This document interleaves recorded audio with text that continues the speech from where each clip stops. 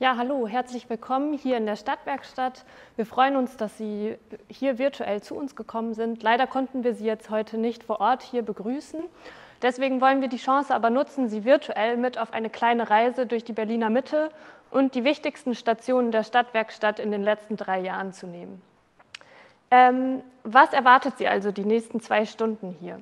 Wir werden verschiedene Stationen besuchen und zwischendurch immer wieder hier in die Stadtwerkstatt zurückkehren.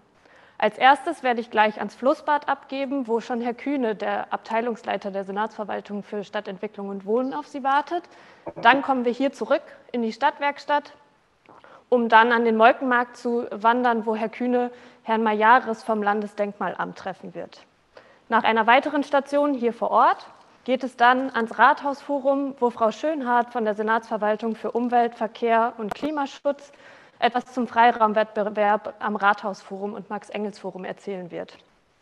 Ganz zum Schluss enden wir hier in der Stadtwerkstatt mit einem Ausblick, was in, in dem nächsten halben Jahr hier passieren wird.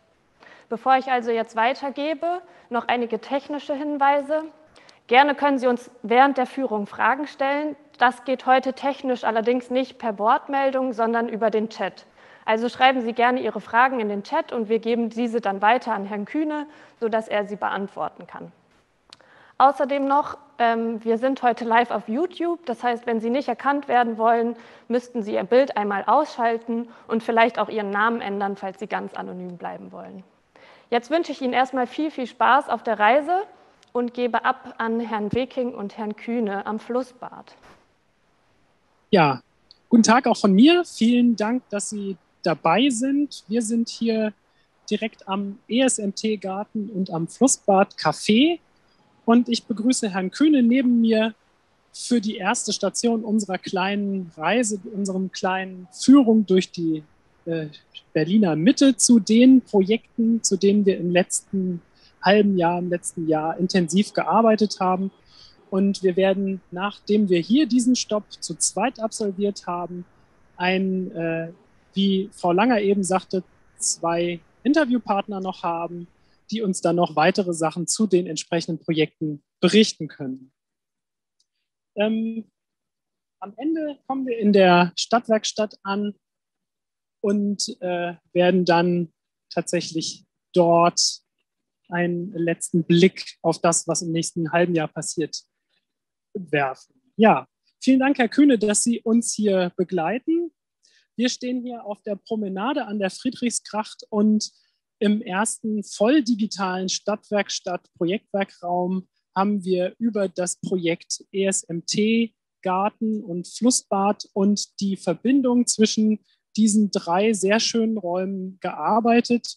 Es gab einen freiraumplanerischen Wettbewerb, wo drei entsprechende Entwürfe eingereicht wurden. Und Herr Kühne, was sind denn eigentlich die wesentlichen Herausforderungen, die hier tatsächlich dann zu bewältigen waren und was war das, was in diesem digitalen Projektwerkraum vielleicht besonders bemerkenswert war? Wir sind hier ja ein, an einem ganz besonderen Ort in der Berliner Mitte auf der Spreeinsel. Und ähm, die Spreeinsel hat ja sehr unterschiedliche Bereiche. Ähm, Im Süden gibt es Wohnungen in 70er Jahre Hochhäusern. Im Norden ist die Museumsinsel und dazwischen liegt ein Bereich, der sich äh, seit Jahrzehnten in einer sehr großen Veränderung befindet und wo ähm, auch noch in den nächsten Jahren viel gebaut wird. Und mitten in diesem Areal liegt ähm, das ESMT-Gelände, also das frühere Staatsratsgebäude mit einem wunderbaren Garten aus den 60er Jahren, die viele gar nicht kennen, ähm, weil dieser Garten immer eingezäunt war und äh, weil äh, die meisten gar nicht wissen, dass man diesen Garten auch betreten kann. Hier hat das äh, Flussbad, der äh, Verein Flussbad e.V., schon seit einiger Zeit ähm, einen provisorischen äh, Treffpunkt geschaffen. An einer Stelle, wo es früher einen weiteren äh, Nebenarm der Spree gab und wo es ein Flussbad gab äh, vor 1900, äh, gibt es hier ähm, Holzinstallationen äh, und auch einen Getränkewagen. Also es ist eigentlich ein sehr angenehmer Ort. Hier ähm, kann man sich wohler fühlen als an vielen Bereichen hier auf der Spreeinsel äh, wo es solche Angebote bisher nicht gibt. Und hier soll herausgefunden werden, wie einerseits ähm, ein Flussbad realisiert werden kann. Also wie man es hinbekommt, das äh, Wasser zu klären und dann in, äh, hier in diesem Spreearm permanent äh, zu schwimmen. Und wie andererseits dann auch dieses Ufer gestaltet werden muss, dass es gut funktioniert, dass man sich hier aufhalten kann und zugleich ähm, eine gute Verbindung mit den äh, denkmalgeschützten ESMT-Garten möglich wird. Ähm, wir haben es gehört, wir hatten drei Teams ähm, und wir hatten eine Runde mit allen Beteiligten, die hier ähm, Einfluss haben. Äh, Denkmalpflege, natürlich äh, den äh, Akteuren aus der ESMT und der Verwaltung. Und wir haben gelernt, ähm, dass die diese unterschiedlichen Nutzer und diese unterschiedlichen Funktionen hier ganz gut zusammenkommen können. Und dass es möglich ist, ähm, ohne dass sich daraus Störungen für die SMT ergeben, auch diesen provisorischen Ort permanent weiterzuentwickeln. Ähm, dafür haben wir jetzt Vorschläge, was hier auf der Landseite äh, gestaltet werden kann. Und das wollen wir auch weiter partizipativ äh, entwickeln. Es gibt, äh, das Flussbad ist ein nationales Städtebauprojekt, also es gibt auch ein Budget dafür. Und ähm, wir werden zusammen mit äh, der ESMT, aber auch dem Straßen- und Grünflächenamt hier im Bezirk, äh, das für diesen Uferweg zuständig ist, und vielen Bürgerinnen und Bürgern weiter diskutieren, äh, was die nächsten Schritte sind äh, und was dann auch an baulichen Veränderungen nötig sein wird. Ja, danke. Gibt es denn schon einen, einen weiteren Zeitplan oder weitere Schritte, die schon absehbar sind, nachdem wir jetzt ja im Juli des äh, letzten Jahres da die entsprechende Beteiligung zu diesen drei Entwürfen gemacht haben? Da gab es ja dann auch noch eine Auswertungssitzung. Das hatte Herr Nehm ja zwischenzeitlich auch im Forum berichtet. Und äh, wie ist das Projekt seitdem weitergegangen? Ähm, das Projekt äh, wird weitergehen. Ein wesentlicher Schritt war zunächst einmal, dass es eine Einigung gegeben hat zwischen äh, dem Flussbad e.V. und der ESMT, dass der, der Standort auch äh, in diesem Jahr weiter genutzt werden kann. Es sollen hier jetzt auch weitere technische Anlagen installiert werden, mit denen ähm, äh, erprobt wird, wie das Wasser gereinigt werden kann. Und ähm, wir werden uns jetzt in der zweiten Jahreshälfte, wenn hoffentlich auch äh, die Pandemiesituation nicht mehr so schwierig ist und Kommunikation leichter wird, werden wir uns mit den verschiedenen Stellen äh, zusammensetzen, die hier für die Entwicklung zuständig äh, sind. Ähm, also wie gesagt, es gibt ein Budget bei uns im Haus ähm, für ähm, die Finanzierung von Flussbadprojekten. Ein erstes Projekt äh, ist ja als Baustelle auch schon zu erahnen. Das ist wenige hundert Meter weiter von hier am Humboldt-Forum an der Schlossbrücke. Dort soll eine Ufertreppe gebaut werden. Und ähm, hier äh, werden wir klären, äh, wie wir jetzt eine Beauftragung hinbekommen, um die Ideen, die aus dem Workshop-Verfahren äh, entstanden sind, dann auch in Planungen umzusetzen und ich gehe mal davon aus, ähm, dass wir dann, äh, wenn die Rahmenbedingungen in diesem Jahr geklärt sind, wahrscheinlich im Frühjahr nächsten Jahres äh, mit weiteren Schritten dann auch wieder in die öffentliche Diskussion und in die äh, Bürgerbeteiligung. Ja, herzlichen Dank.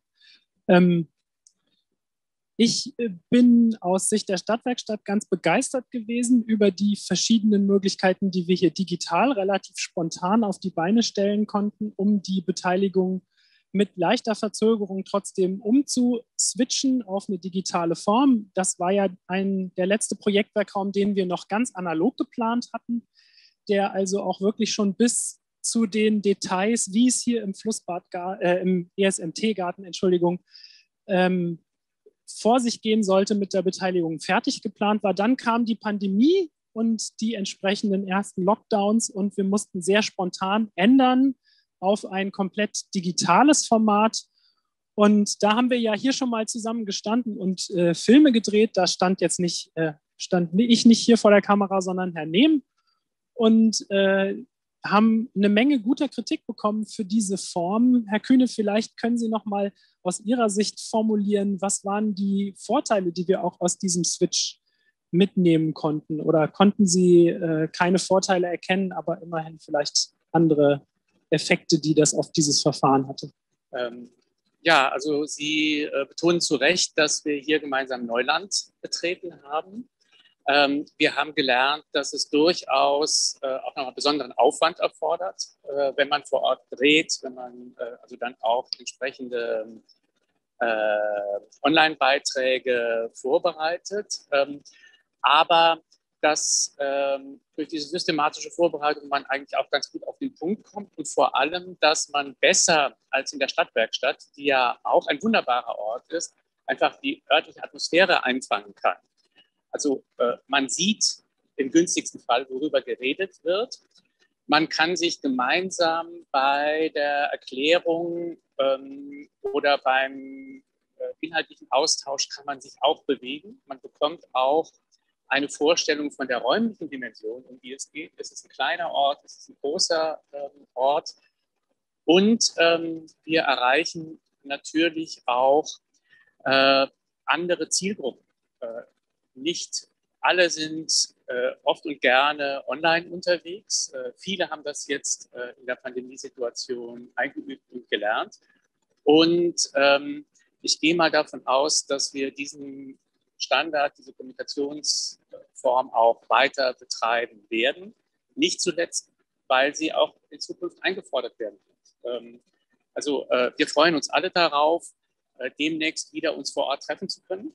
Also der Austausch äh, face-to-face -face und das Gespräch am Rande von Veranstaltungen ist, glaube ich, für alle Beteiligten sehr wichtig und sehr interessant. Das ist online nur sehr begrenzt möglich. Aber ähm, ich gehe davon aus, dass äh, wir diese Erfahrungen jetzt nicht aufgeben werden äh, und auch in Zukunft auf diesem Weg äh, kommunizieren. Und heute versuchen wir es ja sozusagen die Präsentation im Gehen ja. oder in der, in der, im Ortswechsel. Und ähm, das ist sicherlich auch ähm, interessantes äh, Format. Ich habe hab ja öfter schon Führungen gemacht also zu diesen Orten, die wir heute äh, besuchen. Äh, und so können natürlich viel mehr Leute dabei sein. Ähm, äh, aber bei beiden Formaten ist man wetterabhängig. Äh, insofern freue ich mich erstmal, dass es gerade nicht regnet. Also Sie sehen ja, ich bin mit meinem Hut ja auch auf eine andere Wetterlage eingestellt. Ja, sehr schön. Wir sind natürlich auch froh, dass die, Regen, die Regenwolken jetzt so ein bisschen abziehen und dass es äh, trocken bleiben soll. Insofern sind wir da ganz optimistisch. Ähm, ich würde jetzt mal in die Teilnehmerinnenschaft fragen, ob denn Fragen bei den Teilnehmern zu, an Herrn Kühne jetzt äh, vorhanden sind. Wir sehen sie leider nicht. Das ist ein kleines bisschen der Nachteil an diesem Format, dass sie leider nicht mit uns hier stehen und sich direkt zu Wort melden können. Wir sehen nur eine kleine orangene Box, die uns den Ton ausspuckt. Und äh, insofern, ja, haben wir Fragen. Vielleicht Dorothea mag die dann eingeben. Danke. Ja, gerne. Danke, Roland. Wir haben hier eine Frage erhalten im Chat und zwar, kann man irgendwie deutlich machen, dass der Garten betretbar ist, also durch ein Portal oder anderes? Ähm, das kann man sicher. Äh, wir müssten klären, äh, wie wir das arbeitsteilig äh, machen. Ähm, sehr viele gehen ja am Schlossplatz an der ESMT vorbei. Ähm, das ist ein denkmalgeschütztes Gebäude, also da sollen nicht so viele Schilder sein. Ähm, äh, die, ESMT hat natürlich auch einen eigenen Online-Auftritt. Ich nehme an, da ist es auch Thema, vielleicht aber nur ein Randthema. Und vielleicht könnte das hier von den Akteuren vom Flussbad auch noch stärker betont werden, wobei alle, äh, die sich hier, äh, die hier anhalten und sich umschauen, das, glaube ich, durchaus sehen können. Ähm, aber wir sehen es ja hier, viele fahren mit dem Rad vorbei ähm, oder mit dem Elektroroller und ähm, das ist sicherlich ein äh, wichtiger Hinweis, dass man auch noch äh, deutlich macht, was jetzt schon möglich ist an diesem Ort. Ja, das sieht natürlich, wenn man hier so auf die Zäune guckt, nicht direkt unmittelbar so aus. Ne? Das, ja. Äh ja, wir sind hier zwischen Auswärtigem Amt und ISMT. Das ist ein Ort, der eher ja, repräsentativ und gediegen und konservativ aussieht, dass man einfach hier reingehen kann und sich auf den Liegestuhl kostenlos setzen kann ähm, und hier sogar ein Getränk bekommt, das ahnt man nicht spontan. Ja, danke. Haben wir noch eine Frage oder sind wir dann hier Im schon Moment am Ende noch nicht. angekommen? Im Moment noch nicht, okay. Dann habe ich noch eine Frage. Was würden Sie denn sagen, was ist das größte Potenzial, was man hier an diesem Ort entwickeln kann? Wir haben ja jetzt an den Entwürfen ganz unterschiedliche Ansätze auch gesehen, wie der Wasserzugang gemacht ist, wie auch die Schatten- und Sitzsituation ist. Was würden Sie sagen, wenn Sie das jetzt reflektieren? Was ist das, was für Sie das größte Potenzial hat, diesen Ort besonders schön, besonders mit einer besonders schönen Aufenthaltsqualität zu entwickeln? Ähm, ja, man kann ja jetzt erleben, wie sich ähm, das Umfeld des Humboldt-Forums und auch sein, äh, sein Hof, die Passage gestalten. Ähm, das sind ja Bereiche, die sehr stark gepflastert sind, die sehr steinern sind. Ähm, es gibt ja schon Grünflächen hier auf der Spreeinsel. Der Lustgarten ist auch sehr streng und formal gestaltet, aber mit den Rasenflächen und den Fontänen lädt er trotzdem ein, sich einfach auch mal niederzulassen und ähm, äh, dort vielleicht sich auch mal auszuruhen oder irgendein, irgendwelchen Musikern zuzuhören. Es ist aber ein sehr öffentlicher Ort, ein, wo man sehr auf dem Präsentierteller ist. Dieser Garten, diese Uferpartie ist intimer und sie ist auch äh, ruhiger. Wir gehen natürlich davon aus, dass in Zukunft auch diese Uferwege sehr viel stärker äh, genutzt werden. Wir hatten ja gerade das Richtfest für das archäologische Besucherzentrum am Petriplatz, auch die Bauarbeiten für das House of One, wo ja drei Religionsgemeinschaften ähm, sich ein gemeinsames äh, großes äh, sakrales Gebäude schaffen, ähm, haben begonnen. Da gab es ja gerade auch online die Grundsteinlegung. Ähm, wir machen ja auch in diesem Jahr noch ähm, ein städtebauliches Verfahren für die Breite Straße. Das war ja auch ein Thema, ähm, das wir in der Stadtwerkstatt ähm, diskutiert und bearbeitet haben. Also es wird hier in den nächsten Jahren sehr viel mehr Leben geben und trotzdem wird es ein etwas abgeschirmterer und ruhigerer und auch schattigerer Ort sein als manche andere äh, Stellen hier auf der Spreeinsel. Ja, prima. Vielen Dank. Ich denke, dann sind wir hier erstmal zum Ende gekommen. Ich würde dann zurückgeben in die Stadtwerkstatt und äh, Frau Langer dann für den nächsten Block, während wir die Location zum Molkenmarkt wechseln, übergeben. Bis gleich.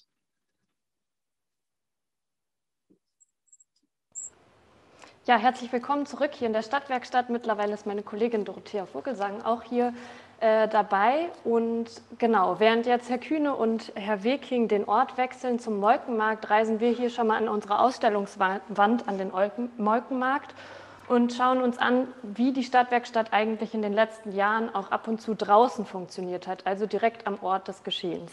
Dafür haben wir ein extra Format entwickelt, die Pop-ups. Was ist denn die Idee hinter den Pop-ups? Pop-up, so wie der Name auch schon sagt, da entspringt quasi an einem Ort, wo sonst nichts ist, ein kleines Festival, Stände und Sofas haben wir dort aufgebaut. Und ähm, es soll quasi an einem Ort, wo sonst noch keine Gestaltung oder noch nichts passiert, soll etwas Neues entstehen. Damit wollen wir Menschen neue Perspektiven aufweisen, auch Menschen, die dort vorbeilaufen, die den Ort vielleicht noch nicht so wahrnehmen, dass an diesem Ort in Zukunft etwas entstehen wird, eine neue Gestaltung. Genau. Und wie sah das dann damals auf dem Jüdenhof ganz konkret aus? Genau, wir haben das ähm, im letzten Sommer zweimal tatsächlich gemacht. Einmal direkt vor dem alten Stadthaus am Molkenmarkt mit einem kleinen ähm, Kreis von Sofas und Märkten, aber auch am Jüdenhof. Ich kann das einmal kurz zeigen. Ähm, dort haben wir unsere Sofas mitgenommen und eine ko-kreative Landschaft aufgebaut, also eine Beteiligungsecke eingerichtet. Wir haben diesen Parkplatz, äh, Parkplatz, extra sperren lassen, also alle Autos mussten da runter, damit wir genug Platz haben und äh, wir dann miteinander ins Gespräch kommen konnten. Man sieht auch schon hier, wir hatten so Marktstände, die waren ganz bunt, auch mit Planen bespannt, dass man uns von Weitem schon sehen kann und gucken kann, was passiert denn da gerade, da gehe ich doch mal hin. Das ist ja sonst eigentlich nicht so. Und dort sind wir ins Gespräch gekommen über die Zukunft des Molkenmarkts. Am Molkenmarkt soll ein neues Quartier entstehen mit 400 bis zu 400 Wohnungen, mit Flächen für Künstlerinnen und Künstler, äh, mit Kita und äh, Freiflächen. Und wir haben gemeinsam daran gearbeitet, welche Qualitäten dieses Quartier haben soll. Was wir als Anwohnerinnen, als Berlinerinnen oder auch als Touristen, die dort vorbeikommen, uns wünschen an Qualitäten. Und da haben wir an verschiedenen Qualitäten gearbeitet. Zum Beispiel, was braucht ein urbanes Quartier? Wohnen, Kultur und Gewerbe, wie kann das gestaltet sein? Was, äh, wie soll der öffentliche Raum in diesem Quartier gestaltet sein? Welche Qualitäten soll der haben? In Straßengestaltung, Erdgeschossen oder auch in Begrünung? Ähm, wie muss auch ein klimaangepasstes Quartier aussehen? Was sind, gibt es da für Anforderungen an Energie, an Baumaterial oder an Vegetation? Welche baukulturellen Qualitäten sollen entstehen? Diese Fragen haben wir gestellt und miteinander erarbeitet. Also Menschen konnten den ganzen Tag über dort an Werkstücken, so nennen wir unsere Vorlagen, auf denen wir arbeiten, miteinander Ideen sammeln und dann in den Austausch gehen, in einem, in einem Abschlussdialog.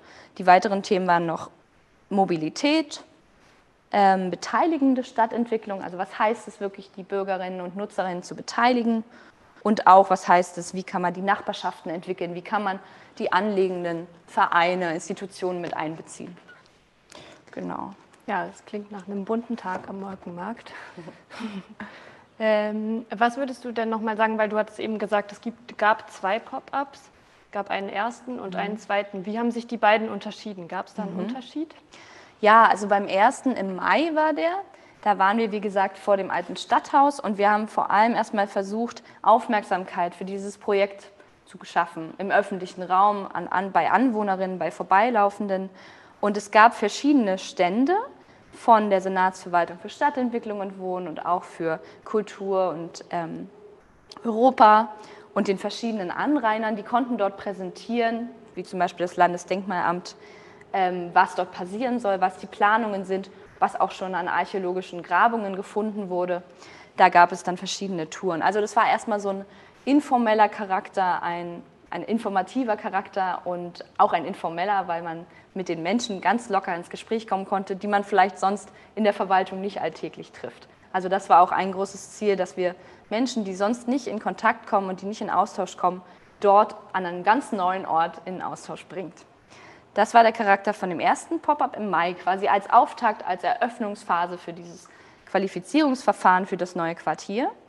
Und im August haben wir uns dann ein bisschen ruhiger in diesen Schatten der Bäume auf dem Parkplatz äh, getrieben, wo wir dann wirklich auch gemeinsam erarbeitet haben, welche Ziele und welche Qualitäten soll das Quartier haben. Also das waren so die Charakterunterschiede. Mhm. Genau. Ja, sehr interessant. Ähm, jetzt im letzten Jahr 2020 hatten wir eigentlich auch noch einen dritten Pop-up geplant, auch wieder vor Ort. Das Aber konnte der denn so stattfinden? Oder? Ja, leider kam uns die Pandemie dazwischen, wie mhm. bei so einigem. Und äh, Herr Kühne hat ja eben auch schon berichtet, dass wir einmal Videos am Flussbad gedreht haben. Und das Gleiche haben wir dann auch kurzerhand mit dem Pop-up gemacht. Wir haben ihn ins Digitale transferiert. Wie das natürlich funktionieren kann, wie man einen direkten Austausch schaffen kann, das haben wir uns vorher überlegt und sind dann zu dem Schluss gekommen, wir müssen den Raum irgendwie virtuell erfahrbar machen. Von daher gab es auch vom Molkenmarkt dann wieder virtuelle Führungen mit Herrn Kühne, aber zum Beispiel auch verschiedene 360-Grad-Panoramen auf der Internetseite, wo man sozusagen auch virtuell in jeden Winkel dieses Ortes gucken konnte. Außerdem wurden äh, viele Informationen rund um das Verfahren am Molkenmarkt bereitgestellt und es gab dann eine interaktive Seite mit verschiedenen Pinnwänden wieder zu den verschiedenen Themen, wo die Bürgerinnen und Bürger und die Stadtgesellschaft ihre Ideen als Pinnnadeln ver, ver, verorten konnten. Genau, und, das gibt es auch in der ähm, Dokumentation nochmal zum Nachlesen. Ah, ja. Ich zeige es einmal ganz genau. kurz. Ähm, genau, und gleichzeitig im nächsten Schritt konnte man auch ähm, nochmal Aussagen sozusagen aus den Pop-ups von den Jahren zuvor bewerten und überlegen, stimme ich dem immer noch zu oder gibt es vielleicht Neuerungen, möchte ich jetzt was anderes vorschlagen? Und so über die Pinnnadeln konnten die Bürger dann in einen virtuellen Dialog treten, in dem sie sich gegenseitig Kommentare geschrieben haben und so sind kleine Gespräche entstanden. Außerdem gab es auch die Möglichkeit, äh, E-Mails an die Verwaltung zu richten, also Fragen an die Verwaltung zu schicken. Das war natürlich nicht ganz so interaktiv wie jetzt vor Ort, aber es gab einen Kanal sozusagen direkt zur Verwaltung. Genau, und am 24. Juli, ganz kurz, ja. ähm, haben wir dann diesen virtuellen Pop-up noch abgeschlossen in einem gemeinsamen Dialog. Der war auch ähm, wieder virtuell. Aber wir haben es ja schon gesagt und wir haben es auch schon gesehen, es gibt natürlich auch immer Vorteile dabei. Also zum einen bei dieser Online-Beteiligung, die asynchron verläuft, wo man sich zu jeder Zeit einloggen kann und auch seine Beiträge ähm, nach einer guten Vorbereitung ähm, dort hinterlassen kann und dann in dem gemeinsamen Abschluss. Ich denke, das war ein rundes Programm. Ja, und natürlich neben dem Pop-up haben wir auch einen ständigen Begleiter, mit dem wir immer wieder im Stadtraum auftauchen können, und zwar unser Lastenrad. Damit sind wir in regelmäßigen Abständen, also fast alle zwei Wochen mittlerweile, mhm. hier im Stadtraum unterwegs, informieren, zeigen uns und ähm, kommen so auch in den direkten Austausch. Dorothea, wo wart ihr denn so in den letzten Wochen immer so unterwegs? Wo kann man euch antreffen mit dem Lastenrad? Ja, wir waren jetzt schon fast überall im Projektgebiet, also ähm, immer natürlich auch projektbezogen. Also wir haben zum einen im März die Ausstellungselemente, die es jetzt auf dem Rathausforum zu sehen gibt, die Sie auch später noch sehen werden in dieser Führung, beworben direkt vor Ort auf dem Rathausforum. Wir waren auf dem Alexanderplatz, dort wuselt es immer total, da kann man gut mit Leuten ins Gespräch kommen, gerade auch mit Jüngeren. Ähm, das finde ich immer total spannend, weil dann doch nochmal die Bedürfnisse oder die Interessen auch anders sind als vielleicht die Menschen, die ähm, hierher kommen, also bei Jugendlichen. Wir waren auf dem Hackischen Markt unterwegs, da ist auch ein ganz anderes Klientel, da sind manchmal auch Touristen jetzt mehr unterwegs. Ähm, wir waren am Flussbad, am ESM, äh, vor dem ESMT-Gebäude, vor der ZLB, also vor der Zentralen Landesbibliothek. Da steht man auch immer ganz gut, da kommen viele Menschen rein und raus, die man mal einen Flyer in die Hand drücken kann, mit dem man ins Gespräch kommen kann, weil wir immer noch in der Phase sind, dass wir die Stadtwerkstatt in die Stadtgesellschaft tragen und zeigen und erklären, was, was die Idee dahinter ist. Ja, ich kann mich auch noch daran erinnern, ähm, beim, beim ähm, Projektwerkraum Stadtgarten Fluss, da hatten wir sogar analoge Werkstücke noch zur Ergänzung zur digitalen Beteiligung.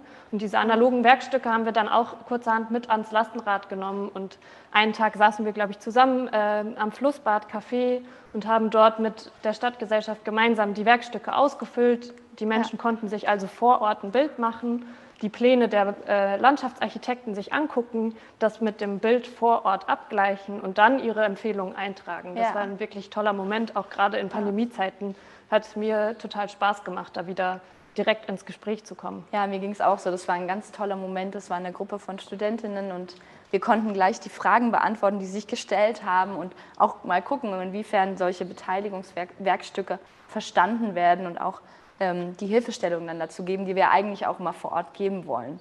Ähm, ich fand es eine sehr Bereicherung und auch die, der Moment, wenn man an dem Ort steht und dann dazu einen Plan hat, dass man diese, diesen Abgleich zwischen hier ist der Ort, hier ist die Realität und so wird das vielleicht auch dargestellt. Das ist ja auch ein Learning, was man, ja. was man wenn man sich beteiligt hat. Ja. ja, und wir freuen uns auch immer wieder auf Hinweise, wo wir mit dem Lastenrad vielleicht nochmal vorbeikommen können, ähm, wo gute Orte sind hier in der Mitte und wo wir vielleicht auch so zu Ihnen kommen können und Sie erreichen können. Ähm, dann gibt es noch eine dritte Sache, die jetzt ganz vor kurzem erst dieses Jahr im öffentlichen Raum sichtbar geworden ist aus der Stadtwerkstatt heraus. Und zwar sind das die Elemente am Rathausforum. Die haben wir am 24. März eröffnet in einer kleinen Eröffnungsfeier. Auch dazu konnten wir leider nicht ganz groß einladen, wie wir es gerne getan hätten. Aber wir waren mit dem Team vor Ort und ähm, Vielleicht hat der ein oder andere von Ihnen die ja auch schon entdeckt. Sie stehen jetzt ziemlich zentral vor dem Roten Rathaus, direkt am neuen U-Bahnhof und ähm, bieten da Informationen rund um den Freiraumwettbewerb. Ähm, und was denkst du, Dorothea, wie wirkt das so im Stadtraum, diese mhm. Elemente? Also ich fand es einen ganz tollen Moment, als die Elemente dann wirklich vor Ort standen, weil man natürlich, man sieht den Plan und man kann sich so vorstellen, wie das vielleicht aussieht. Ist das dann groß genug auf diesem großen Platz?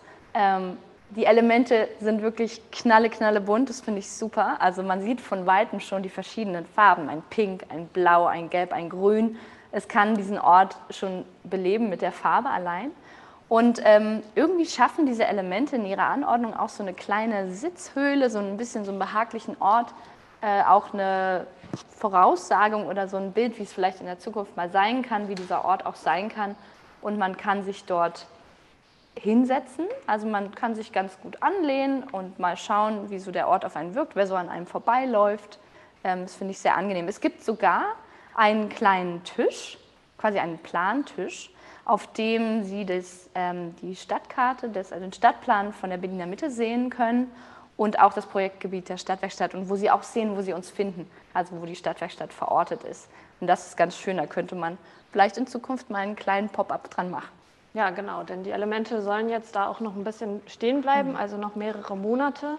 Ähm, und zwischendurch wird, werden die Elemente auch nochmal aktualisiert mit neuen Informationen, frisch aus dem Freiraumwettbewerb. Aber dazu wird Frau Schönhardt nachher direkt an den Elementen auch genauer berichten nochmal.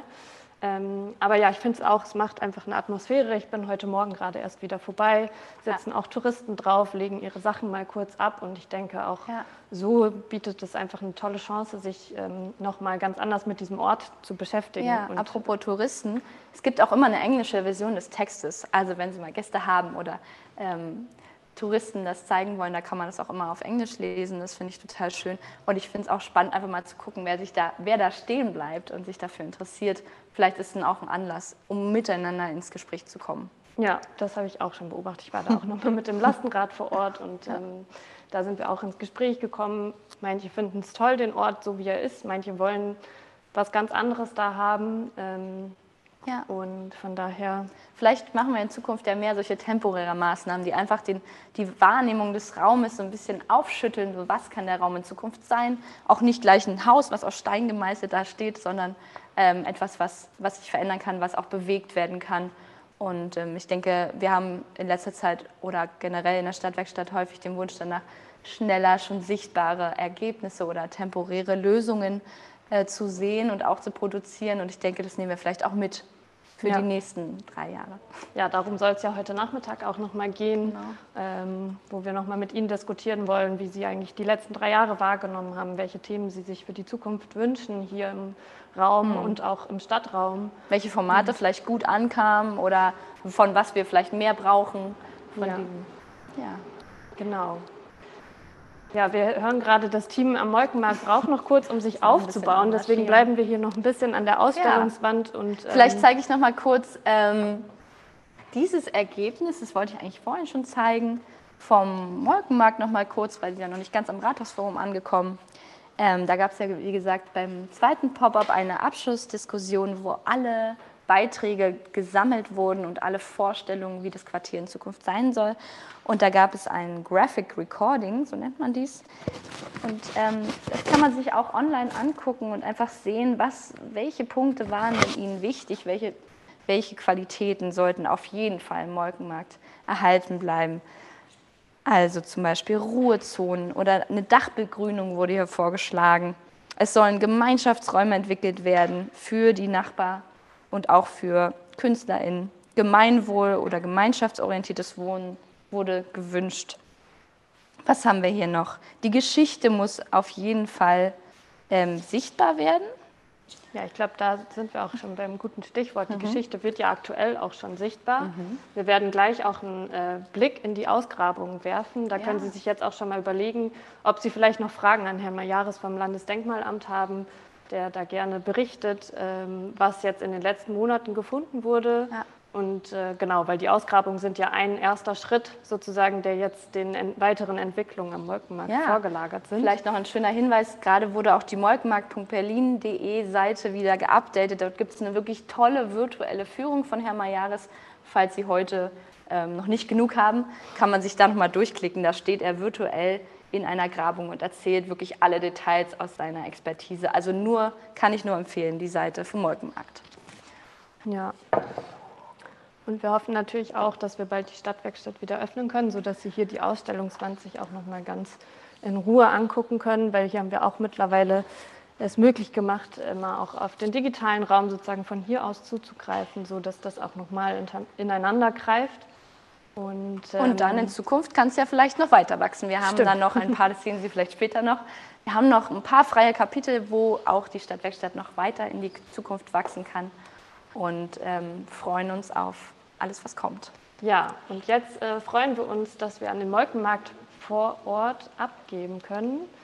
Ähm, Dort erwarten Sie jetzt Herr Majares vom Landesdenkmalamt und Herr Kühne und Herr Weking im Gespräch auf der Plattform und äh, mit direktem Blick in die Ausgrabung. Viel Spaß dabei.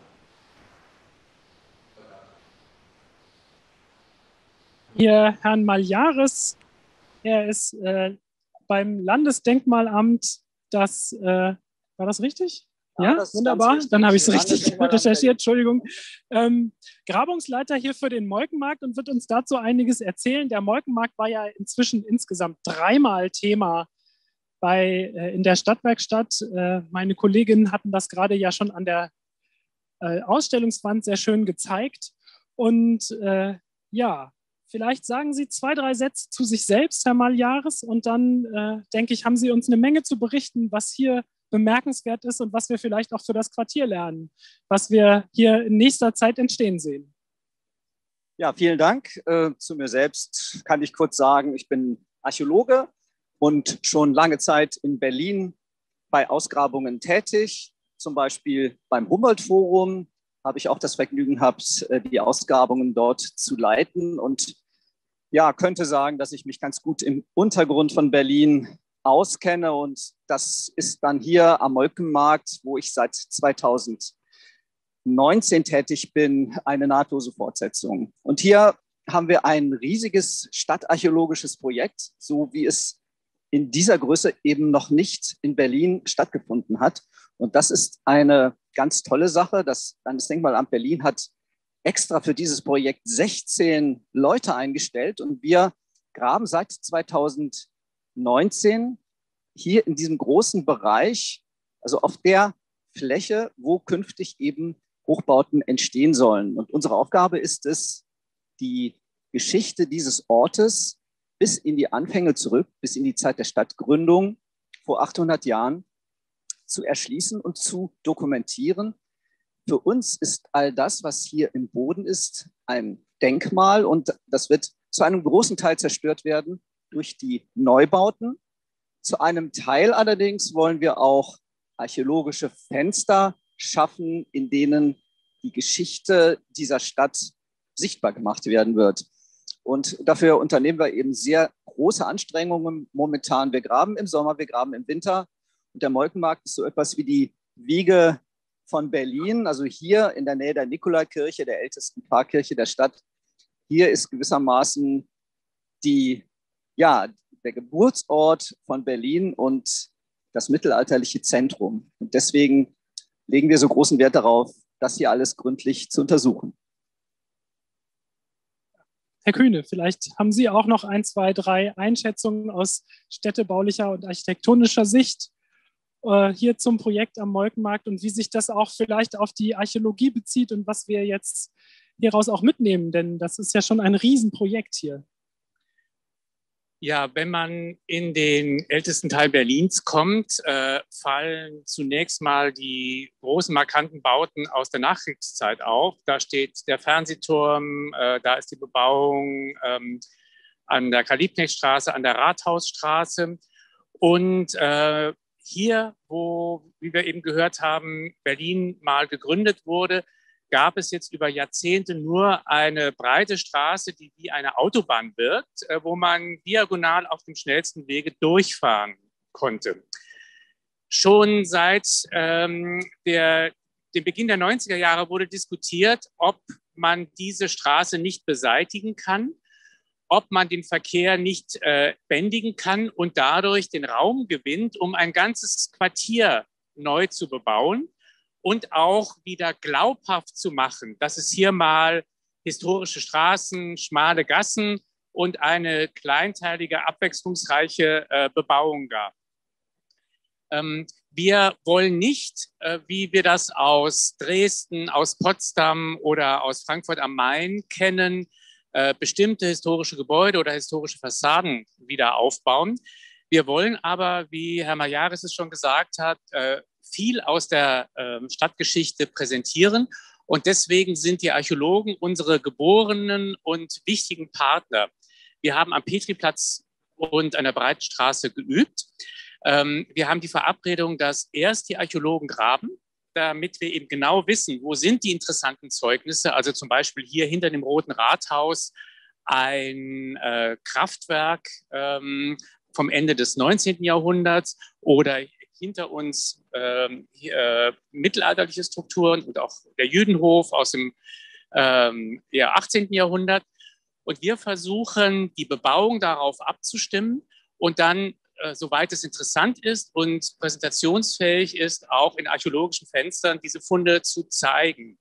Äh, und oft eben in sehr alltäglichen Situationen, dass dann vielleicht nur in einem äh, Hauskeller auch mal gelegentlich etwas zu sehen ist. Und bei spektakulären Fällen, ähm, wie wir das ja am PT-Platz haben, wollen wir durchaus auch gerne überlegen, ob man äh, archäologische Fenster schaffen kann, die äh, weitgehend oder, oder ständig zuständig, äh, zu, äh, zugänglich sind. Hm? Ja, danke schön. Ähm, was war denn für Sie besonders überraschend, was Sie hier gefunden haben? Also sowohl für Sie als Archäologe als auch für die Besucherinnen, die Sie ja hier sehr regelmäßig auch über die Grabungen führen. Da gibt es ja sicher Unterschiede, was Sie besonders spannend finden und was die Besucher besonders spannend finden. Also es gab äh, sowohl ganz tolle, schöne Überraschungen als auch unangenehme Überraschungen. Ich fange mal mit den unangenehmen an. Wir befinden uns ja in Berlin, einer Stadt, die vom Zweiten Weltkrieg ganz stark geprägt worden ist. Und wir haben hier ganz viel Munition gefunden. Das ist ein Risiko, auf das ich immer wieder gerne hinweise. Munition, so wie ein Blindgänger, 250 Kilogramm, der mit der äußersten Vorsicht natürlich behandelt werden muss und der unsere Arbeit ein bisschen stört. Aber nichtsdestotrotz, auch das interessiert die Leute. Und ich habe festgestellt, dass das Elektrizitätswerk, was Sie eben, Herr Kühne, angesprochen haben, das aus dem späten 19. Jahrhundert stammt, äh, sehr, sehr interessant ist für sehr viele Leute, die sonst keinen Bezug zu Geschichte oder Archäologie bisher entwickelt hatten. Und das ist für mich ein guter Weg, um ja, alle Interessierten heranzuführen. Das war ungewöhnlich gut erhalten. Damit haben wir nicht gerechnet. Also mächtige Pfeiler, Betonfundamente, äh, Ziegelfundamente, sogar noch Reste von Maschinen. Und das alles zeigt den Wandel dieses Ortes eben sehr anschaulich. Also hier, wo heute eine Straße verläuft, war vor 100 Jahren ein Elektrizitätswerk und das wiederum hatte ein Wohnquartier verdrängt. Also das sind diese, dieser, dieser jähe Wandel, der auch schon vor einiger Zeit, nicht erst in unserem Jahrhundert stattfindet, der hat hier gewissermaßen Tradition. Das fand ich so spannend hier. Ja, das ist sehr interessant. Also es ist ja auch so ein bisschen interessant zu betrachten, dass Sie das jetzt schon unter archäologischen Gesichtspunkten betrachten was wir aus Fotos ja kennen. Also man hat ja Fotos von diesem Elektrizitätswerk, die man wunderbar auf dieser schönen Website ähm, molkenmarkt.berlin.de angucken kann, mit, zusammen mit den 360-Grad-Fotos von dem von der Ausgrabung. Und das ist spannend, dass das natürlich jetzt so übereinander lappt, dass wir Bildzeugnisse haben und es trotzdem schon eine Ausgrabung ist. Also äh, ja, sehr spannend. Herr Kühner, haben Sie denn noch äh, besondere Gedanken hier zu diesem Ort? Wir haben ja auch hier einige Videos gedreht, die vielleicht nicht alle unserer Zuschauer heute kennen. Ja, äh, wir haben zu meiner angenehmen Überraschung heute die Gelegenheit, auf einer temporären Dachterrasse über dem ganzen Areal ähm, zu stehen. Ähm, das ist natürlich wunderbar, um sich zu orientieren. Wir wollen ja im nächsten Jahr hier nebenan auf dem Jüdenhof-Areal etwas Ähnliches ähm, auch installieren. Um das, diese Dachterrasse ist ja eine, Funktions, eine Funktionsanlage für diejenigen, die hier ähm, arbeiten. Und da wollen wir dann äh, Akteure und Akteurinnen, die mit der Quartiersentwicklung zu tun haben, aber vor allem Bürgerinnen und Bürger einladen. Das soll ein Ort sein, wo wir diskutieren, wo wir informieren, wo wir äh, Anregungen sammeln, so wie wir das aus der Stadtwerkstatt gewohnt sind. Ähm, und äh, wir hoffen, dass wir dann eben äh, neben den Grabungen einen zweiten anziehenden Ort haben, wo man sehen kann, dass dieser, diese Wüste aus Asphalt und Beton, die wir bisher hier gewohnt haben, ähm, wirklich lebendig werden kann äh, und wo wir auch schon einen Vorgeschmack geben können äh, auf das, was wir uns an Leben und Aktivitäten hier im zukünftigen Quartier erhoffen. Also wir, das ist ja ein Ort, wo wir uns ganz intensiv mit der Geschichte auseinandersetzen wollen und müssen natürlich. Es ist aber auch ein Ort, wo die Lebendigkeit des heutigen Berlin präsent werden soll und wo wir vor allem Chancen für die Zukunft entwickeln wollen. Denn all diese Flächen, die hier bebaut oder der größte Teil der Flächen, die hier bebaut werden können, sollen nicht mehr privatisiert verkauft werden. Das Land Berlin will Eigentümer bleiben. Und insofern können die Berliner Politik und die Berliner Stadtgesellschaft äh, wahrscheinlich auch langfristig darüber entscheiden, wer kann hier wohnen, welche, was kann hier passieren, wie kann man hier städtisches Leben organisieren, das nicht äh, kommerzialisierter Altstadtrummel ist und auch nicht das übliche innerstädtische Leben, wie wir es aus Shopping Malls kennen. Ähm, also insofern ist das eines der großen Modellprojekte hier in der Stadt. Und ähm, wie immer in Berlin muss man dann auch, wenn man so tolle Ideen hat, noch kleine Hürden nehmen. Wir brauchen noch Geld dafür. Ähm, das werden wir äh, im nächsten Jahr intensiv diskutieren mit den politisch Verantwortlichen. Wir haben ja im September Wahlen und dann wird es ja ein neues Abgeordnetenhaus geben. Äh, wir haben bisher für unsere Aktivitäten sehr viel Wohlwollen gespürt. Ich glaube, die äh, Archäologiekollegen können das bestätigen. Wir haben ja gehört, es ist aufwendig und teuer, was hier betrieben wird.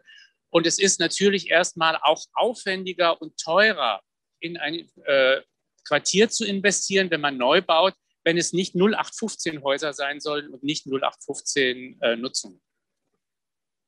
Ja, bleibt mir noch die Frage, ähm, wir haben jetzt, wie ich ja schon gesagt hatte, dreimal in der Stadtwerkstatt in der Zeit zum Molkenmarkt gearbeitet. Was sind die nächsten Schritte in der Beteiligung äh, wenn es jetzt tatsächlich um die Konkretisierung auch der Hochbauten geht. Denn das ist ja, wenn ich das richtig in Erinnerung habe, der nächste Schritt, der dann dazu führt, dass hier das Quartier wirklich entstehen kann. Ja, wir haben ja ähm, zuletzt, äh, Ende letzten Jahres und ähm, in den letzten Monaten eine sogenannte Sondierungsphase für die Ziele der Planung hier gehabt. Das heißt, ganz, ganz viele Akteurinnen und Akteure, die in der Planung wichtig sind, ähm, sind befragt worden, haben miteinander diskutiert. Wir stimmen gerade eine Aufgabenstellung ab ähm, und wollen noch in diesem Jahr ähm, ein Qualifizierungsverfahren durchführen.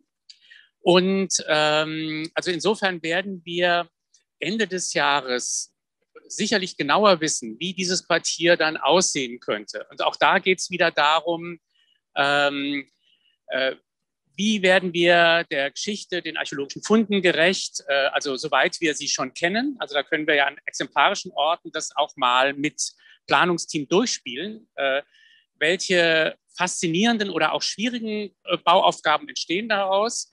Ähm, wir, mit, äh, wir arbeiten ja hier mit der BBM, der Wohnungsbaugesellschaft, der ja auch im Umfeld sehr viele ähm, Gebäude und Quartiere gehören, äh, und der DGWO. Also mit diesen Partnern arbeiten wir zusammen. Die wissen dann auch besser, was auf sie zukommt. Und ähm, wir haben uns auch damit auseinanderzusetzen, dass die Politik uns aufgegeben hat, hier auch die Straßen und die Freiräume innovativ zu denken. Also äh, wir sollen nicht einfach traditionell pflastern, sondern wir sollen herausfinden, ob die Straßen und Gassen verkehrsberuhigt sein können, ob sie grüner sein können und noch interessanter für den Aufenthalt. Das sind Themen, die wir in diesem Jahr bearbeiten. Und dann werden wir natürlich wieder ähm, äh, äh an die Öffentlichkeit gehen und mit Bürgerinnen und Bürgern diskutieren und, die, und die, äh, auch die Zwischenschritte der Planung werden wieder in der Stadtwerkstatt vorgestellt werden. Ja, danke. Bevor ich jetzt äh, die TeilnehmerInnen auffordere, auch Fragen an uns zu stellen, noch eine letzte Frage an Herrn Maljares. Ähm, Sie haben gerade so schön betont, dass das auch alles Denkmale sind, die wir haben. Blutet Ihnen das Herz, dass da jetzt Gebäude draufgestellt werden und dass die zerstört werden, wie Sie das so schön gesagt haben? Oder können Sie damit gut umgehen? Inzwischen kann ich damit gut äh, umgehen. Äh, es ist ja so, dass das der Regelfall ist, dass wir etwas ausgraben, und dass es dann zerstört wird. Mir würde das Herz bluten, wenn wirklich alles zerstört würde, wie ich ja sagte und wie Herr Kühne auch sagte, wir werden einiges erhalten können, wenn wir archäologische Fenster schaffen. Und äh, andererseits ist es natürlich so, dieses Quartier hat sich schon immer gewandelt und die Neubauten sind eben ein erneutes Zeichen dieses Wandels. Insofern ist das auch ganz normal. Ja, ja vielen Dank. Haben wir Fragen aus der Teilnehmerschaft? Ja, ähm, wir haben zwei Fragen. Ja, wunderbar. Jetzt hören wir dich auch ganz gut, Dorothea. Das war eben ja. noch ein bisschen schwierig, aber super. Vielen Dank. Okay, wunderbar. Also einmal fragt der Kaufmann. Das Klosterviertel und die Molkenmarktregion sind ja im Kontrast zur Friedrichstraße sehr heterogen. Wie kann man diese Vielfalt zu einem identitätsstiftenden Kennzeichen äh, der neuen vielfältigen Bürgerinnenstadt werden lassen? Äh, ich nehme an, die Frage geht an mich. Dann würde ich sie auch gerne beantworten. Ähm, ja, das ist richtig. Ähm, wir haben jetzt äh, darüber gesprochen, was entstehen kann und was zu beachten ist auf den Flächen, die neu zu bebauen sind. Aber ähm, gerade auch in der schon eben erwähnten Sondierungsphase sind wir naheliegenderweise drauf gekommen, ähm, dass wir uns auch sehr stark mit dem auseinandersetzen sollten und müssen, was hier bereits existiert. Und ähm, das sind äh, zum einen so ähm, interessante Gebäude wie die Alte Münze, die ja auch gerade umgenutzt wird, wo es auch äh, sehr, äh, äh, sehr kreative Nutzerinnen und Nutzer gibt. Es sind ehrwürdige Gebäude wie das Rote Rathaus oder das Stadthaus, wo der regierende Bürgermeister, der Innensenator und auch das Landesdenkmalamt sitzen. Ähm, wir haben äh, Bauten aus den 70er Jahren hier in der Klosterstraße, die äh, großmaßstäblich und, und sperrig wirken, die aber auch ähm, erneuert und umgenutzt werden können und wo es ja auch äh, Kulturprojekte schon äh, gibt. Und wir haben auch so etwas Bizarres wie ein riesiges Parkhaus ähm, äh, hier gleich gegenüber, äh, das, einem zunächst, das einem zunächst mal nicht besonders attraktiv erscheint, aber äh, wo wir auch die, äh, ganz viele Fahrzeuge für das neue Quartier unterbringen können. Also ähm, wir haben inzwischen gelernt, dass eigentlich äh, zwischen all diesen verschiedenen Gebäuden, Nutzung und Nutzern ähm, Synergien und gute Bezüge hergestellt werden können. Und wir müssen eben jetzt auch herausfinden, äh, welche Kontraste wir setzen können. Also wir wollen ja kleinteiliger bauen, wir wollen eben nicht mehr ganze Blöcke einheitlich bebauen und wir wollen eben so bauen, dass man hier angenehm wohnen, leben und arbeiten kann. Und das ist ja bei vielen äh, Gebäuden oder Grundstücken hier im Moment nicht der Fall. Ja, herzlichen Dank. Dann die zweite Frage bitte. Ich denke, wir haben noch zwei Minuten ja. Zeit. Ne? Ich habe noch eine Frage. Man kann sich ja im Moment die Straßenführung hinter dem Rathaus anschauen, Richtung Brunnerstraße. Wie ist der Anschluss an die zehn Fahrspuren künftig geplant? Oder wird der Tunnel geschlossen oder die Straße lediglich unter einer Hälfte der S-Bahn-Brücke durchgeführt?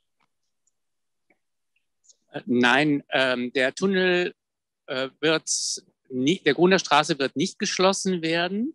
Ähm, die, er ist ja auch vor einigen Jahren erneuert worden. Ähm, es wird nur eine Verschwenkung der Straße geben. Also im Bereich unseres Quartiers äh, wird die Straße noch sehr breit bleiben für längere Zeit, ähm, aber schmaler sein als die bisherige Gruner Straße. Und das ist eine Frage, die uns oft gestellt wird. Wie kann man eigentlich im 21. Jahrhundert, äh, wo wir uns mit äh, neuen Mobilitäts- und mit, Klimafragen auseinandersetzen, im Neubau eine so breite Straße bauen? Unsere Antwort ist, wir werden noch für äh, viele Jahre hier sehr viel Durchgangsverkehr haben. Wir wollen aber hier auch jetzt schon diskutieren, wie können diese breiten Straßen in Zukunft genutzt werden. Also wie machen wir sie verkehrswende tauglich? Ähm, und das ist eine der ähm, Fragestellungen und Aufgabenstellungen, die wir jetzt in das äh, Planungsverfahren, das ich eben schon kurz skizziert habe, mitnehmen. Und dazu wollen wir dann auch zum Jahresende erste Antworten präsentieren. Ja, prima. Ich habe gerade bedeutet bekommen, dass wir mit der Zeit jetzt hier am Ende sind. Ich danke Ihnen ganz herzlich, Herr Maljares, dass Sie sich bereit erklärt haben, uns heute hier auf diese wunderbare Plattform zu führen und einige Sätze zu den Ausgrabungen zu sagen. Und ähm, ich gebe damit zurück in die Stadtwerkstatt und wir wechseln unseren Ort und finden uns gleich auf der anderen Seite hinter dem Roten Rathaus am Rathausforum bei den Infoelementen wieder, die seit März dort stehen. Insofern erst einmal viel Spaß weiter mit Frau Langer und wir sind dann gleich wieder da.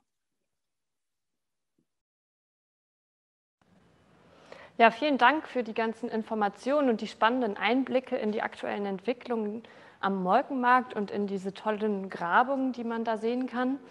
Ähm, ich begrüße Sie jetzt ganz herzlich wieder hier im Raum der Stadtwerkstatt, den wir uns jetzt gemeinsam noch mal genauer angucken wollen, weil die Stadtwerkstatt war in den letzten Jahren ja nicht nur draußen im Stadtraum unterwegs, sondern vor allen Dingen auch hier in dem Raum, der sich ja auch Stadtwerkstatt nennt.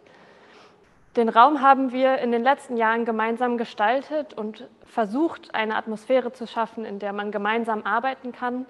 Auch hier diese tolle Bodenkarte zeigt das Projektgebiet, dem wir, mit dem wir uns hier immer wieder befasst haben, sodass wir in verschiedenen Veranstaltungen auch direkt auf dem Plan im Projektgebiet gemeinsam arbeiten konnten. Außerdem gibt es Tische zum Arbeiten, einen Lounge-Sessel, um äh, in gemütlicher Atmosphäre ins Gespräch zu kommen. Und so versuchen wir den Raum nach wie vor für verschiedene Nutzungen zur Verfügung zu stellen. Eben haben Sie schon die Ausstellung gesehen, die ich jetzt noch mal etwas genauer erläutern will. Und zwar ist die hier am hinteren Teil des Raumes aufgebaut und nennt sich eine wachsende Ausstellung. Das heißt, die Ausstellung wächst mit dem Prozess mit mit jedem Schritt, den wir machen und mit jeder Station, die wir mit der Stadtwerkstatt machen, kommt sozusagen ein neues Kapitel an die Wand. Ähm, und dann kann man hier an der Wand in, in der Stadtwerkstatt sozusagen den ganzen Prozess nachverfolgen, sich alle Dokumentationen, die wir schreiben, nach den Veranstaltungen noch einmal durchlesen und somit nachvollziehen, was die Stadtgesellschaft für Empfehlungen gibt, welche Projekte hier bearbeitet wurden und welche Spielräume es sozusagen in Zukunft auch noch geben wird. Diese ganze Ausstellung wird von Frau Brugger kuratiert und wächst jetzt nach und nach weiter. Das letzte Kapitel ist aktuell noch die ESMT und der, zu dem Projektwerkraum Stadtgarten Fluss. Aber dort folgen jetzt auch noch die Veranstaltungen, die im letzten halben Jahr hierher kamen. Genau, neben dieser Ausstellung wurde der Raum aber nicht nur von dem Prozess der Stadtwerkstatt genutzt, sondern auch für andere Initiativen zur Verfügung gestellt. Beispielsweise kamen hier schon Filmprojekte in den Raum und haben ihre kleinen Aufnahmen gemacht und hier gemeinsam gearbeitet. Außerdem gab es auch immer wieder externe Ausstellungen, wie zum Beispiel einmal eine Ausstellung hier zum Komplex der Karl-Liebknecht-Straße 11, ähm, der, die dann hier im hinteren Raum ausgestellt wurde. Und auch kurz vor knapp, bevor die Pandemie leider den Raum geschlossen hat, haben nochmal Studierende der TU, Münch, äh, der TU Berlin hier äh, Pläne und Modelle zum Molkenmarkt vorgestellt. So wird der Raum sozusagen zu einem kollaborativen Ort, wo ganz verschiedene Initiativen zusammenkommen können und ihn für sich nutzen können. Ein, zentrale, ein weiteres zentrales Format, was immer wieder hier stattgefunden hat und wo an dieser Stelle genau Herr Nehm Sie eigentlich immer begrüßt hat, war das Forum. Unser Forum findet seit Beginn der Stadtwerkstatt 2018 jeden zweiten Mittwoch im Monat statt und lädt die Stadtgesellschaft zur Vernetzung, zu gemeinsamem Austausch und zu Gesprächen ein. Dort ist auch immer die Senatsverwaltung vertreten, aber das Forum ist vor allen Dingen der Ort, wo Sie, auch das Forum ist zweimal auf Exkursion gegangen.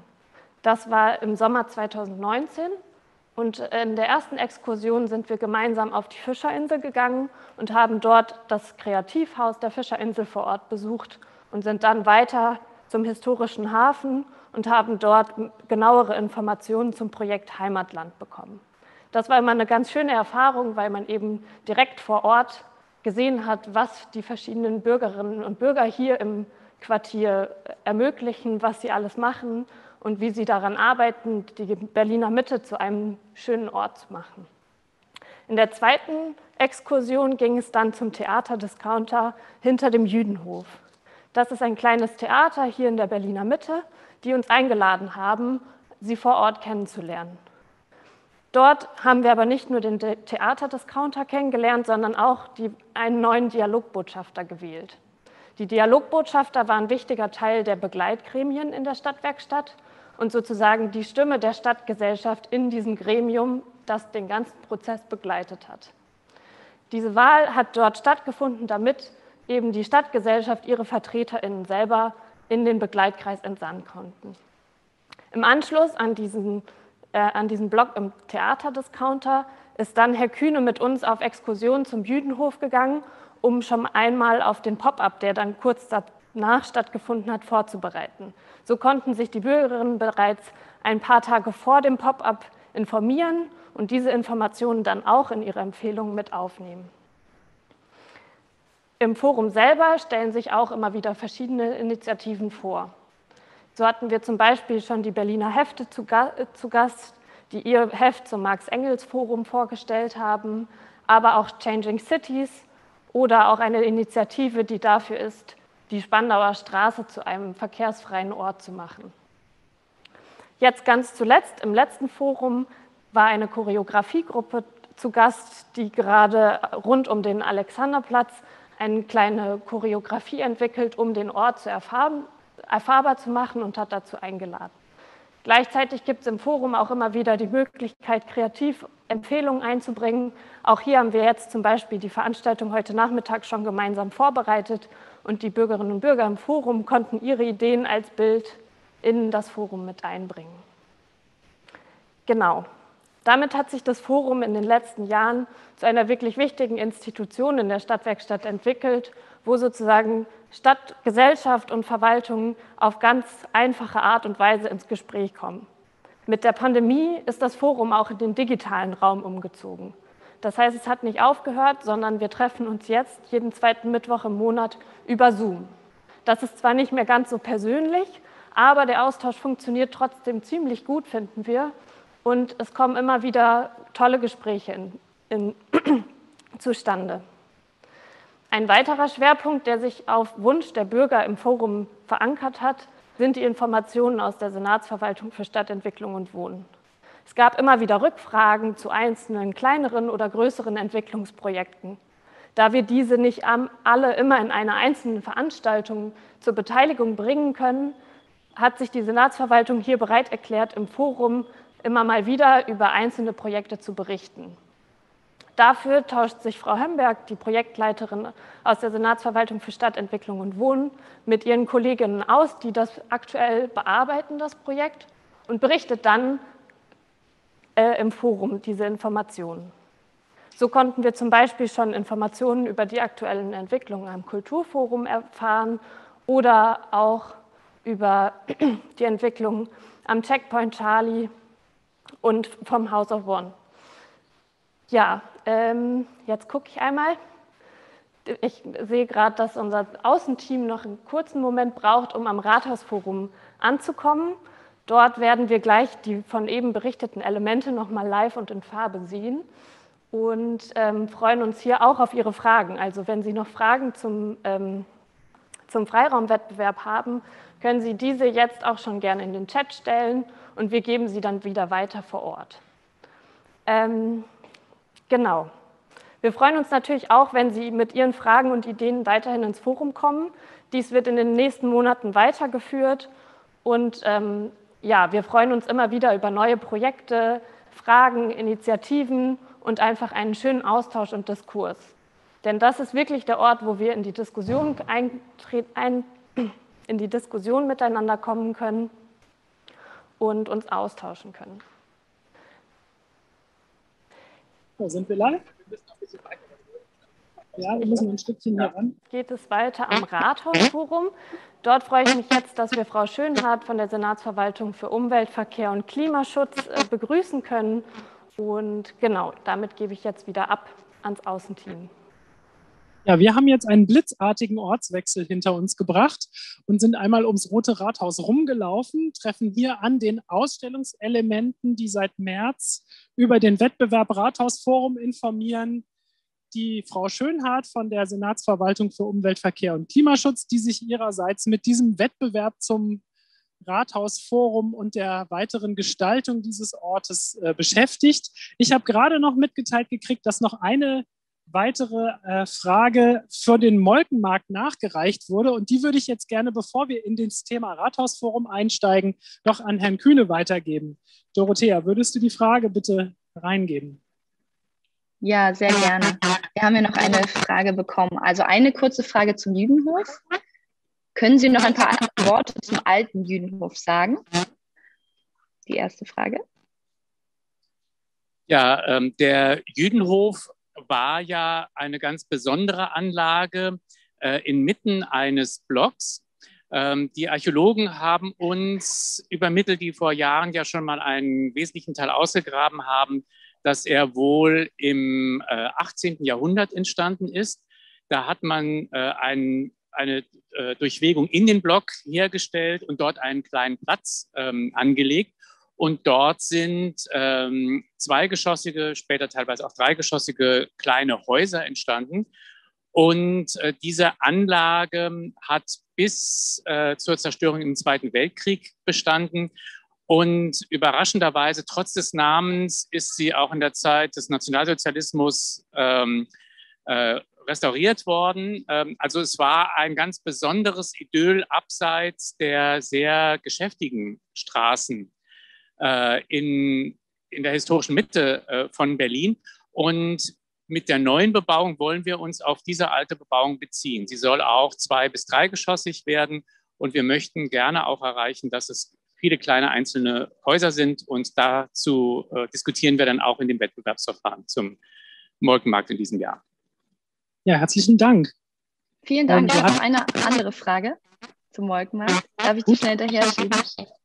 Super. Ähm, und zwar, wie genau wollen Sie verhindern, dass gleichförmige, glatte Blöcke entstehen, wo doch alles nur von wenigen Wohnungsbaugesellschaften gebaut wird? Können Sie sich auch in Anlehnung an die Gebäudetypologie der Emmendingen Altstadt vorstellen? Also Symmetrie der Fassaden oder Stalldächer? Ähm, das ist eine Thematik, die wir jetzt im Qualifizierungsverfahren in diesem Jahr diskutieren werden. Ähm, dass Wohnungsbaugesellschaften auch kleinteilig bauen und bewirtschaften können, ähm, sehen wir ja im Nikolaiviertel.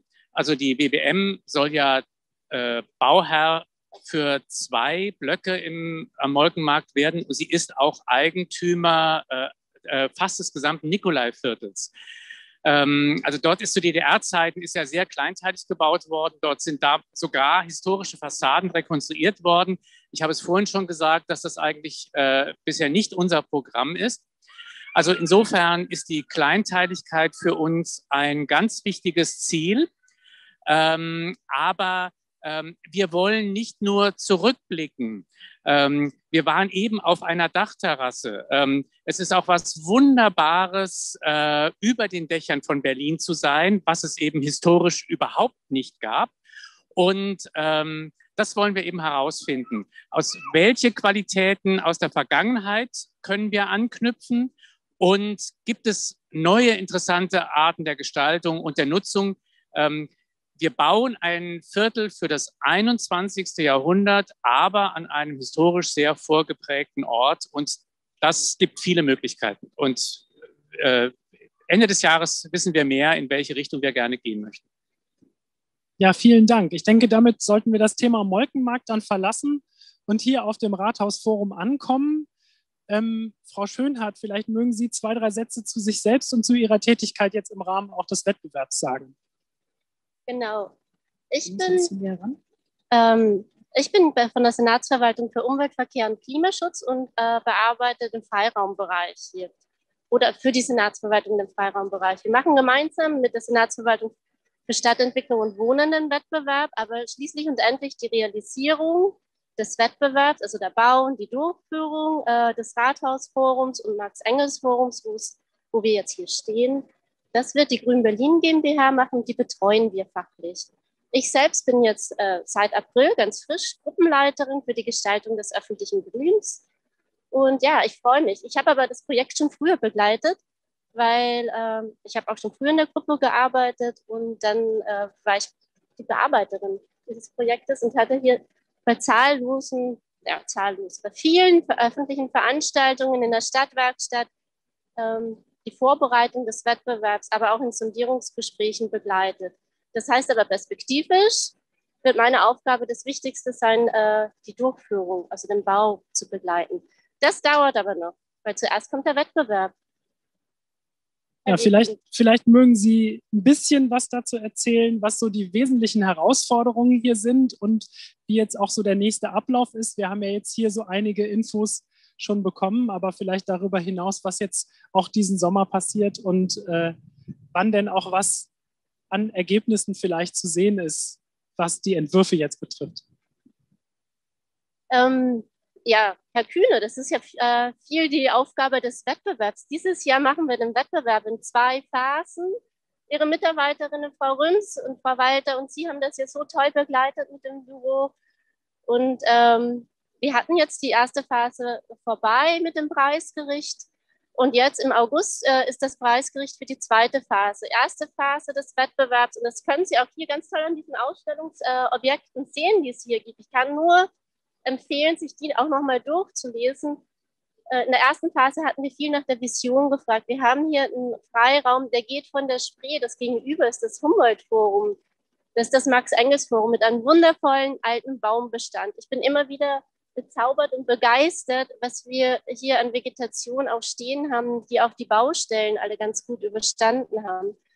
Und dann geht es eigentlich weiter bis zur S-Bahn-Station und dem Fernsehturm mittendrin. Wir haben hier ähm, eine total beeindruckende Umrahmung des Freiraums, die Gebäude, das Nikolaiviertel, das Rote Rathaus, hinten die Wohnbebauung entlang der Rathausstraße und die andere Seite, wir haben die Marienkirche in der Mitte stehen und Neptunbrunnen auch noch und werden auch noch äh, vom Fernsehturm. Das ist unsere Blickachse. Wir gucken eigentlich zum Alexanderplatz in die Richtung und in die Richtung gucken wir auf das neue Humboldt-Forum.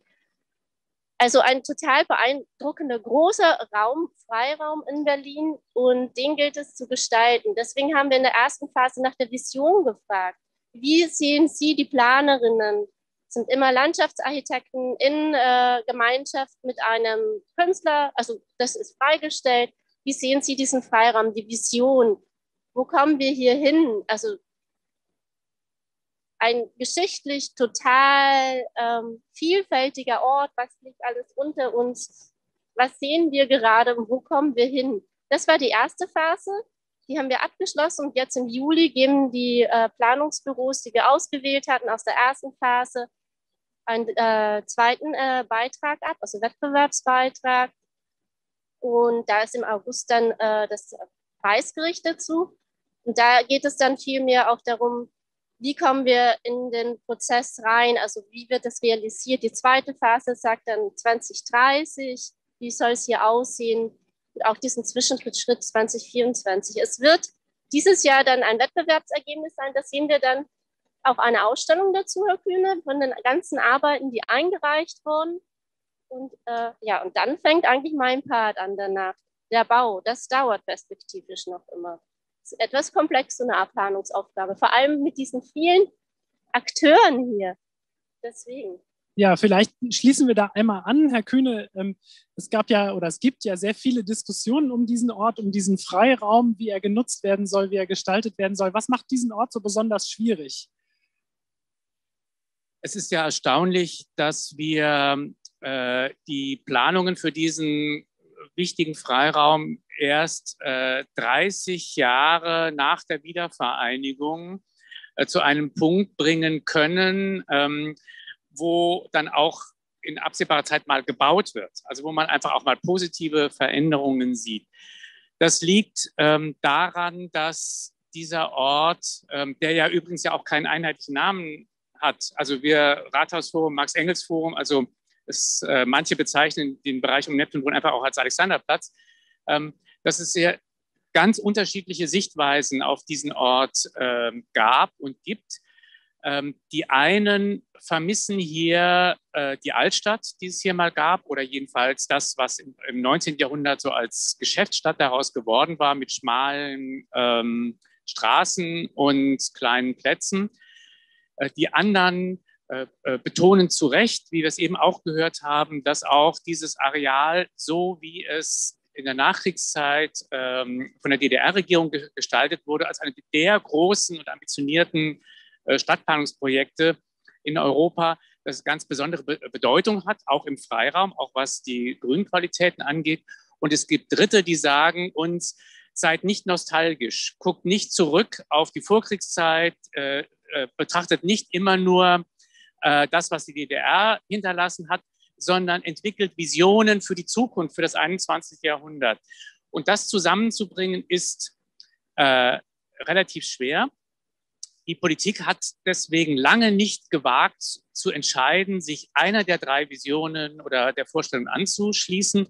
Wir haben einen Bürgerbeteiligungsprozess durchgeführt, da sind Bürgerleitlinien entstanden.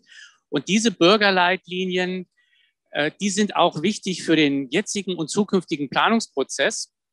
Und auch wenn wir, wenn die Jury eine Entscheidung getroffen hat, ähm, in der Jury sind übrigens, übrigens auch ein Bürgervertreter dabei, ähm, auch wenn die Entscheidung getroffen hat, wird es weitere Diskussionen geben. Also sehr, sehr viel, was hier geplant und gestaltet werden kann, muss einfach auch mit der Zivilgesellschaft eng abgestimmt werden.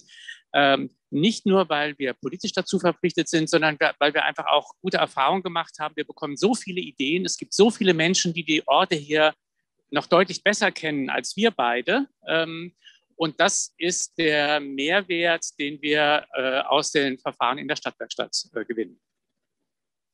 Ja, danke. Jetzt ist für mich natürlich die Frage, wenn dann äh, das perspektivisch in den Bau übergeht, Entwürfe entstehen, was sind denn die nächsten äh, Schritte in der Bürgerbeteiligung dann, die als ja, Folge geplant sind? Wie kleinteilig wird es dann sein? Wird es noch einmal einen großen Rundumschlag geben, wo man sagt, so jetzt können Sie noch mal auf die Entwürfe reagieren oder wird es dann noch mal differenzierter betrachtet werden später im Verfahren? schwierig, Herr Kühne. Wir haben ja den Wettbewerb, das ist ein Realisierungswettbewerb. Und damit äh, hat man eine Idee äh, auserwählt, auch mit Bürgervertreterinnen.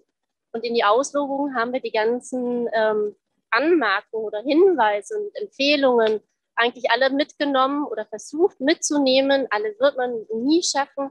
Aber wir hatten dazu sehr viele Sondierungsgespräche und Beteiligungen und äh, haben die alle den Planungsbüros mitgegeben. Aber dadurch, dass es ein Realisierungswettbewerb ist und dieser Realisierungswettbewerb betrifft jetzt Max Engels Forum und das Rathausforum hier, ähm, hat man eigentlich eine Idee oder einen Entwurf ausgewählt. Also bei dem kommt man dann nicht mehr so weit weg, weil der hat einfach gewonnen und wurde auch prämiert. Und das sagt ja auch äh, Realisierungswettbewerb aus. Jetzt ist aber so, wir haben auch noch ganz viele Planungen oder ganz viele. Wir haben auch noch Planungen, die anstehen, mit denen wir uns auseinandersetzen müssen. Das ist auch die Tramlinie, die hier langführen wird. Wie wird die Spandauer Straße aussehen? Das haben wir in den Wettbewerb mit reingegeben, dass es hier Veränderungen gibt. Aber deswegen ist im Wettbewerb auch ganz wichtig, die Prozesshaftigkeit oder auch eine Struktur zu schaffen. Sage ich sehr, das ist so etwas Planerisches äh, Reden. Das versteht nicht immer jeder ein Gerüst zu haben, einen Freiraum, der ganz viel aufnehmen oder auf vieles reagieren kann. Das muss eine äh, starke Gestaltungssprache sein, die ähm, das auch zulässt, dass es Veränderungen gibt und auch in Zukunft Veränderungen gibt. Wir wissen nicht alles, aber wir wissen einiges schon, sehr vieles. Und ich glaube, da ähm, haben wir auch eine produktive Rollenverteilung. Wir haben es gehört, es gibt äh, Kolleginnen und Kollegen, ähm, die müssen sehr darauf achten, was ist jetzt eigentlich schon entschieden und was kann jetzt auch äh, gebaut und umgesetzt werden. Und äh, wir, die wir ja die Gesamtverantwortung haben für äh, die Areale auch ringsum und für den ähm, Beteiligungsprozess äh, zur Berliner Mitte, wir achten natürlich auch sehr darauf, wo sind noch die Spielräume. Ähm, und die, da gibt es sehr viele. Also zum einen erstmal für temporäre Maßnahmen, bis äh, tatsächlich gebaut wird, sind viele auch förmliche Verfahrensschritte ähm, ab, äh, zu absolvieren. Also wenn es in diesem Jahr einen äh, ausgewählten Entwurf gibt, heißt es ja nicht, dass im nächsten Jahr schon gebaut werden kann. Das dauert einfach. Und äh, wir sind überzeugt, ich glaube, die, die, Überzeugung teilen wir, dass man bestimmte Dinge eigentlich schon vorher äh, auch äh, ausprobieren sollte. Also ein ganz wichtiges Thema ist die Spandauer Straße man kommt einfach nicht gut rüber. Also vor allem nicht in der Mittelachse. Wenn die U-Bahn-Baustelle ganz weg ist, dann wollen wieder viele vom Fernsehturm über den Neptunbrunnen ans Ufer. Und das ist, sind zum Beispiel Gelegenheiten, wo wir äh, also mit dem ausgewählten Planungsteam, aber auch mit Bürgerinnen und Bürgern äh, schnelle und temporäre Lösungen entwickeln können.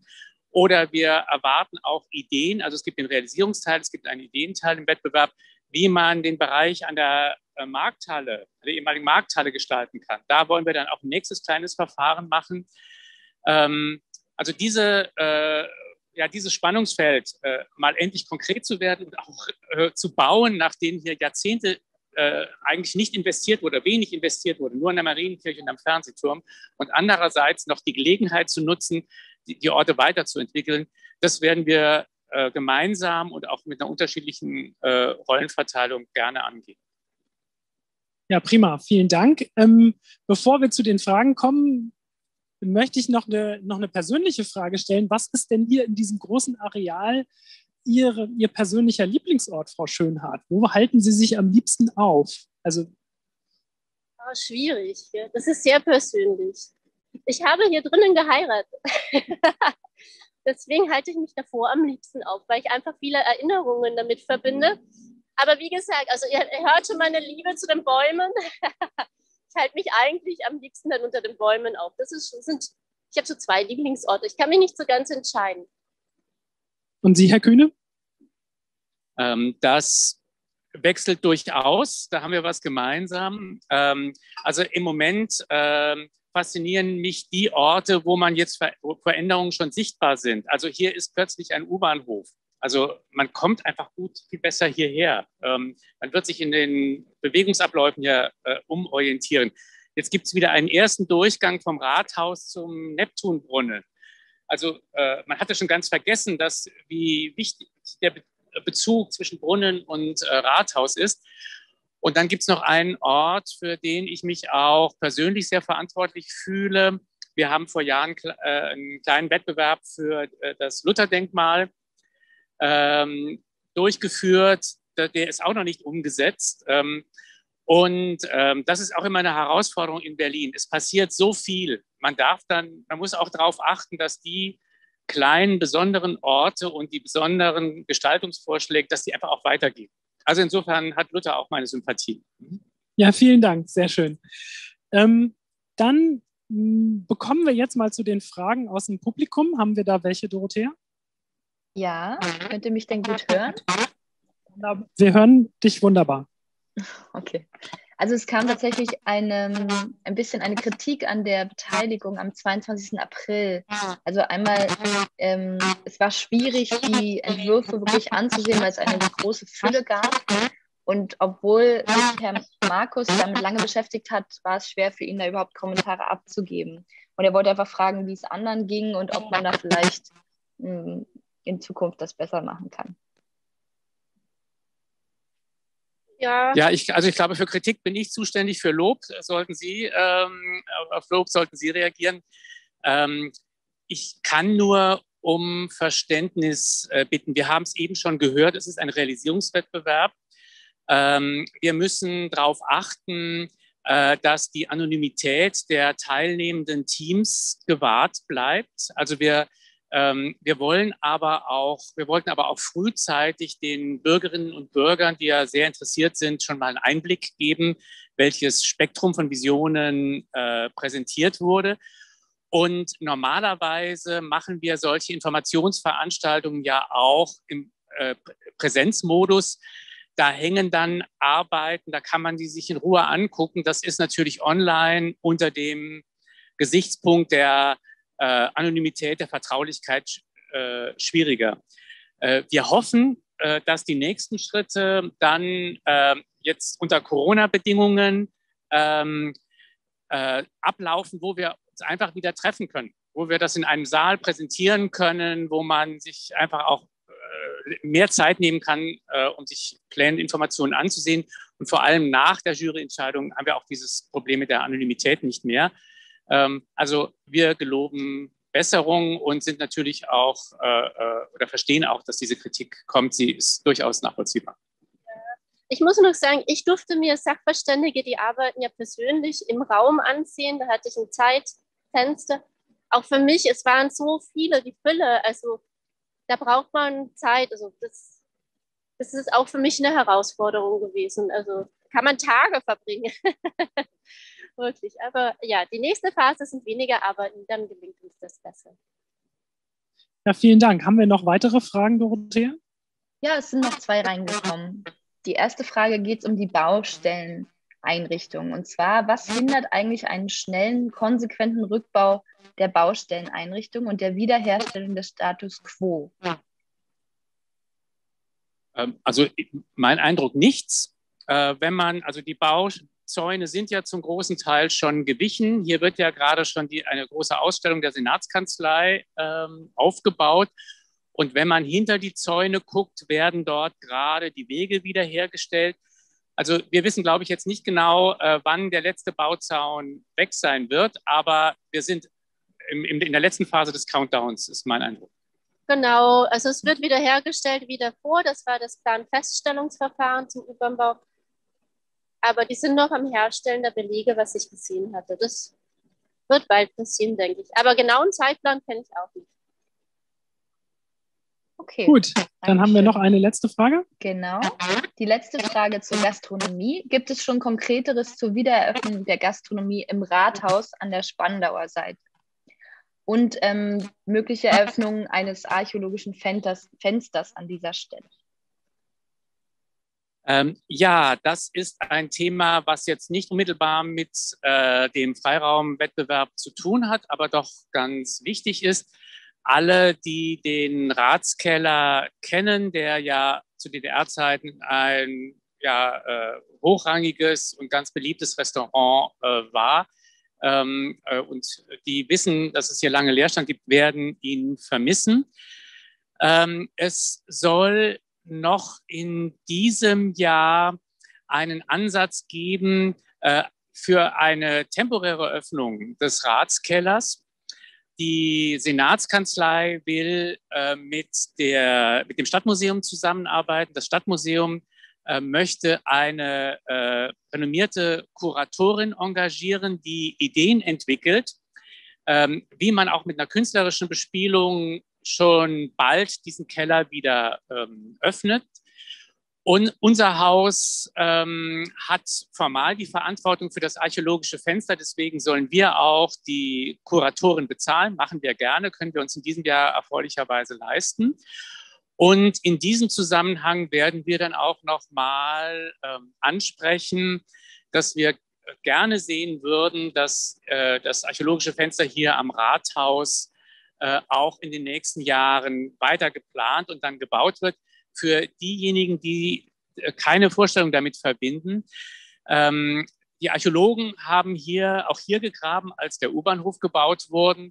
Und vor dem Rathaus, in dem Bereich hinter uns, liegen unter dem Pflaster und Asphalt ähm, Reste der Kellergewölbe des mittelalterlichen Rathauses. Als man das neue Rathaus gebaut hat, hat man dieses alte abgerissen, aber das neue dahinter gesetzt. Und es ist vorgesehen, hier zwischen U-Bahnhof, da soll es dann auch ein, ein Fenster in diese, diesen alten Ratskeller geben, und Rathaus, äh, diese Gewölbe dann freigelegt und zugänglich gemacht werden. Äh, bisher sind wir noch verantwortlich. Wir würden gerne dafür sorgen, dass die Senatskanzlei die Hausherrin ist, ähm, das Projekt dann übernimmt. Ähm, und wir sind ganz zuversichtlich, dass wir das auch in den nächsten Jahren erreichen.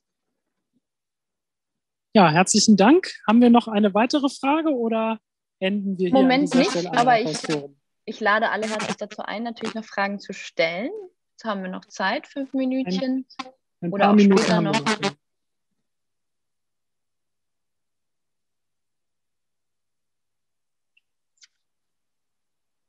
Ja, vielleicht ähm, ähm,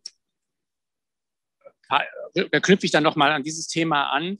Ähm, für uns ist es auch ganz wichtig äh, herauszufinden, wie man das Rathaus, in dem manche heiraten, aber äh, in dem man normalerweise im Alltag ja nicht reingeht, das ist ja die, äh, der Sitz des regierenden Bürgermeisters und das ist äh, sozusagen ein Ministerpräsident, da gibt es auch hohe Sicherheitsanforderungen. Also wie man dieses Rathaus öffnet hier äh, zum Freiraum. Und auch die Senatskanzlei hat Ambitionen, das beweist diese Ausstellung, die hier gerade aufgebaut wird. Ähm, also es ist wieder möglich, diesen Vorplatz ähm, auch zu bespielen und dann die Verödung an diesem Bereich äh, zu beenden, die wir so lange erlebt haben. Und äh, für uns ist das im Wettbewerbsverfahren auch die äh, anspruchsvollste Herausforderung, Äh, wir haben eine Bürgerleitlinie, die besagt, wir sollen diesen Platz als Ort der Demokratie entwickeln. Ähm, also wir wissen mit, mit ganz vielen Aufgabenstellungen, mit ganz vielen Bürgerleitlinien, äh, wie wir damit umgehen äh, sollen.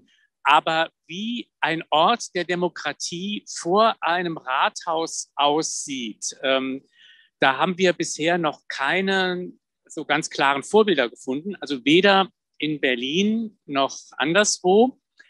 Ähm, und das ist sicherlich einer der Punkte, äh, die wir auch jetzt weiter intensiv diskutieren äh, werden. Es wird nicht reichen, hier vielleicht schöneres Pflaster oder bessere Beleuchtung und ein paar Bänke aufzustellen. Ähm, und man kann auch jetzt ja schon sehen, wie herausfordernd das ist. Äh, es ist schön, wenn hier mal eine Ausstellung stattfindet, dann ist der Platz aber auch belegt.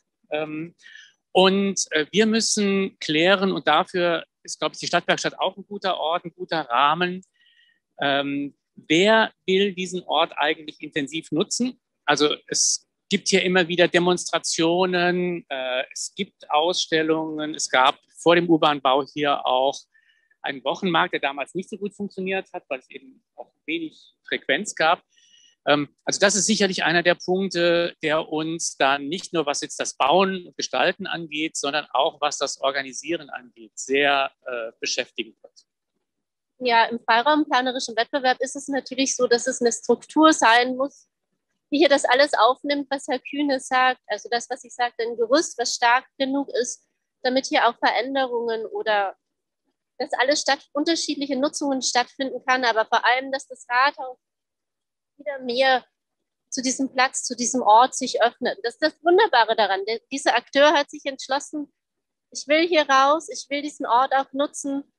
Und jetzt im Wettbewerb suchen wir da gute Sachen. Aber dann in der weiteren Realisierung gilt es ja auch, die ganzen Abstimmungen zu treffen. Es kommen ja auch die vielen Besuchenden vom Regierenden hier an oder vom Ministerpräsidenten. Die fahren hier vor. Es gibt bestimmte Sicherheitsvorkehrungen, wie was aussehen muss, wie die Gehsteigkante sein muss das sind alles noch Sachen, die wir klären müssen, wo das einfach länger dauert. Also vor 2025 werden wir keinen Baubeginn haben, ist meine Prognose. Aber ich bin gespannt. Ja, herzlichen Dank, Frau Schönhardt, dass Sie uns heute hier getroffen haben. Ich würde dann unsere Station Bitte noch hier. zwei Am, Fragen. du hast noch zwei Fragen. Sehr gut. Dann Ja, beende ich zumindest erstmal diesen Teil. Aber wenn die zwei Fragen noch reinpassen, dann ist das natürlich super. Dann schieß mal los. Ja, also die eine Frage wurde auch schon etwas beantwortet, aber ich will sie nochmal stellen. Gibt es Überlegungen, den Platz vor dem Rathaus für Veranstaltungen zu nutzen? Vielleicht nochmal einen Satz dazu. Äh, ja, also ähm, wie gesagt, wir brauchen hier Verabredungen zur Bespielung. Ähm, also es ist ja eine, ähm, ein, ein, öffentliches Straßenland. Also normalerweise können dort ganz viele kommerzielle Veranstaltungen auch stattfinden, aber die Senatskanzlei will sich eben hier stärker engagieren und das unterstützen wir sehr. Und das werden wir weiter äh, diskutieren und wir brauchen dafür eine Lösung, damit hier eben nicht nur kommerzielle Angebote sind. Danke. Und eine letzte Frage. Ähm, die Stühle, die im Moment vom Humboldt-Forum stehen, die man so bewegen kann, haben dort eine wirklich wunderbare Verwandlung bewirkt. Wie könnte man mit kleinen Interventionen im Stadtraum solche neuen temporären Nutzungsqualitäten produzieren? Ja, das ist ähm, ein naheliegender Gedanke, zumal es zu DDR-Zeiten äh, ähnliche, wenn auch schwerere äh, Stühle überall hier im äh, Rathausforum gegeben hat. Ähm, also am Fernsehturm, an, an den Kaskaden. Wollen Sie vielleicht? Äh Ja, an den Kaskaden standen die auch. Ja, selbstverständlich kann man damit etwas auch machen, aber es gibt so viele Interventionen, die man hier machen kann. Also da bin ich auch gespannt auf die Planungsbüros, was sie uns vorschlagen. Ein, das hatte Herr Kühne schon gesagt, also ein wichtiger Punkt für mich ist immer diese Überwindung des Straßenraums, damit dieser Raum als einer auch gedacht wird, damit man bis nach vorne gehen kann. Oder auch von U-Bahnhof und S-Bahnhof hierher findet. Also für manche ist es einfach, wenn die zum ersten Mal hier aussteigen, auch einfach verwirrend, wo komme ich hin? Also da gibt es so viele Ideen. Das müssen wir einfach dann nochmal abstimmen, was es dann sein wird. Aber ja, ich bin aber auch auf die Ideen der Planungsbüros gespannt, was die uns vorschlagen werden. Wenn ich noch einen letzten Satz zu den Stühlen sagen darf. Ähm, das ist äh, etwas, was man heute eine Governance-Frage nennt. Äh, die Flächen am Humboldt-Forum äh, sind formal Eigentum des Humboldt-Forums. Wir haben, also das Humboldt-Forum hat ein Management, das diese Stühle aufstellt, sie pflegt und dafür sorgt, dass sie nicht in die Spree geworfen werden.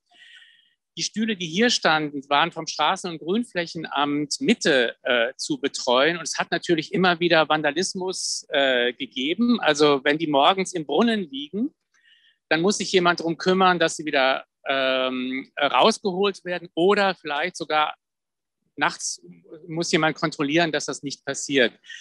Und das kann ein Straßen- und Grünflächenamt nicht leisten. Das kann eine Grün Berlin GmbH, die hier bauen soll und vielleicht auch temporär betreuen kann, in Maßen leisten. Und deswegen ähm, äh, sind wir immer herausgefordert, diesen, diesen Zwiespalt zwischen tollen Ideen, interessanten Angeboten und einfach Machbarkeit zu lösen. Ich würde jetzt ja, ganz gerne doch noch auf die eine letzte Frage ähm, eingehen und vorher noch eine Korrektur.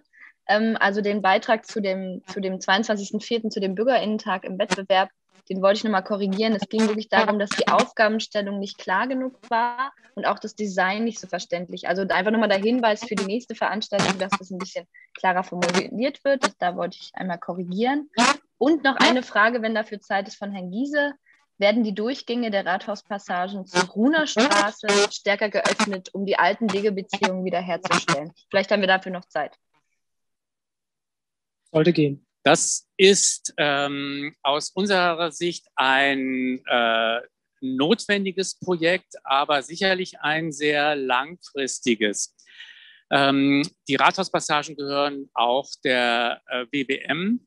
Ähm, sie sind ja ähm, vor mehr als zehn Jahren stark umgebaut worden. Man hat dort die Einzelhandelsflächen extrem stark ausgeweitet und dadurch ist dieser Passagencharakter geschwächt worden. Ähm, wir wollen, das habe ich vorhin ja schon im Nebensatz angedeutet, wir wollen die WBM ja dafür gewinnen, das ist sehr vielversprechend, das große Parkhaus über diesen äh, Passagen äh, äh, umzunutzen und besser zu nutzen im Zusammenhang mit dem Molkenmarktquartier. Und dann hoffen wir, dass wir die BBM auch ins Gespräch ziehen können zur Zukunft dieser, äh, dieses Durchgangs, dieser Passage. Ähm, es gibt aber natürlich Mietverträge mit großen Gewerbemietern ähm, und insofern könnte man das jetzt nicht von einem Tag auf den anderen reden. Ja, vielen Dank. Ich denke, dann machen wir uns jetzt langsam auf den Weg zur Stadtwerkstatt. Ich verabschiede erstmal Frau Schönhardt. Herzlichen Dank, dass Sie dabei waren. Ähm, wir nutzen den neu geschaffenen Durchgang am Neptunbrunnen vorbei und kommen gleich bei der Stadtwerkstatt an.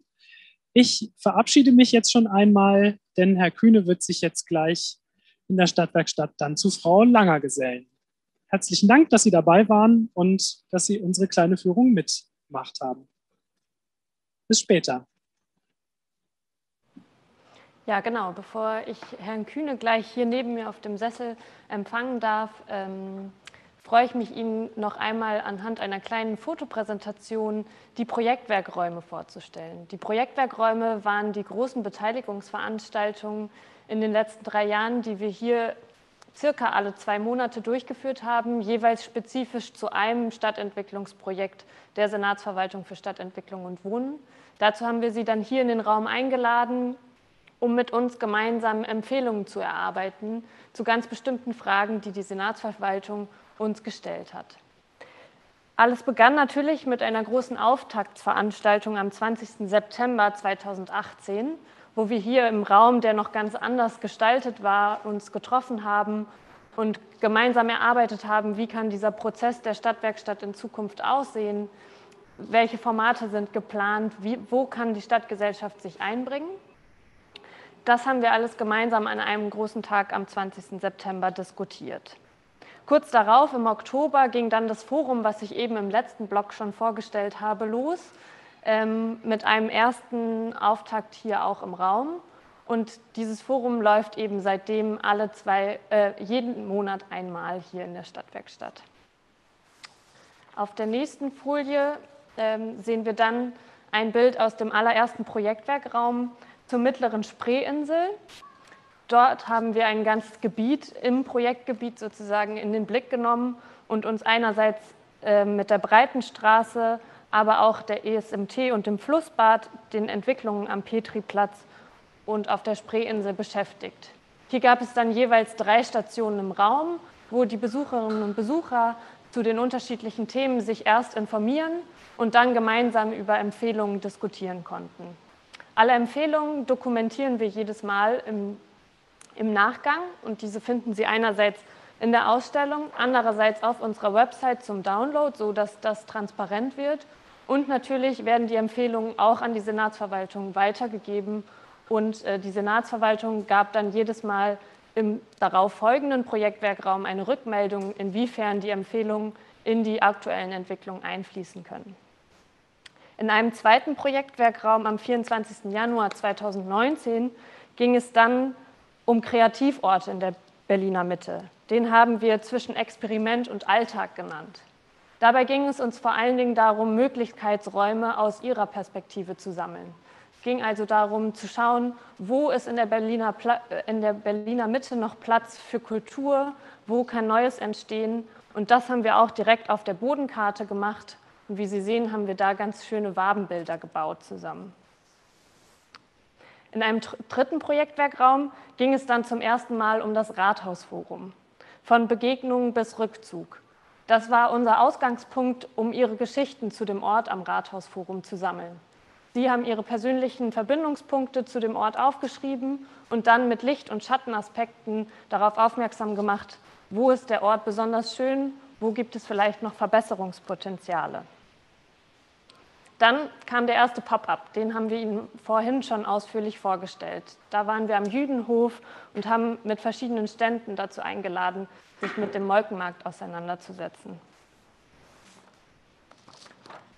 Auch im August, wie wir eben schon berichtet haben, ging es dann nochmal auf den Jüdenhof. Diesmal konnte man wirklich in einer Workshop-Zone zu verschiedenen Themen Empfehlungen erarbeiten und sich mit den Senatsmitarbeiterinnen direkt austauschen und die Empfehlungen sozusagen direkt vor Ort schon gemeinsam diskutieren. Im September 2019 ging es dann erstmals um das Thema Verkehr. Das Thema Verkehr haben wir mitbekommen, ist ein sehr wichtiges für die Stadtgesellschaft. Und deswegen haben wir hier ganz explizit eingeladen, sich mal mit der neuen Straßenbahn auseinanderzusetzen, die vom Kulturforum bis zum Alex führen soll. Hin und weg mit der Straßenbahn. Das war das Motto für den Abend. Hier haben wir uns in der Stadtwerkstatt getroffen und ebenfalls an verschiedenen Stationen über verschiedene Aspekte der Straßenbahn diskutiert. So ging es einmal darum, wo die Station genau sitzen soll am Roten Rathaus. Da hatte die Senatsverwaltung für Umwelt, Verkehr und Klimaschutz verschiedene Optionen vorgestellt, die dann zur Abstimmung standen.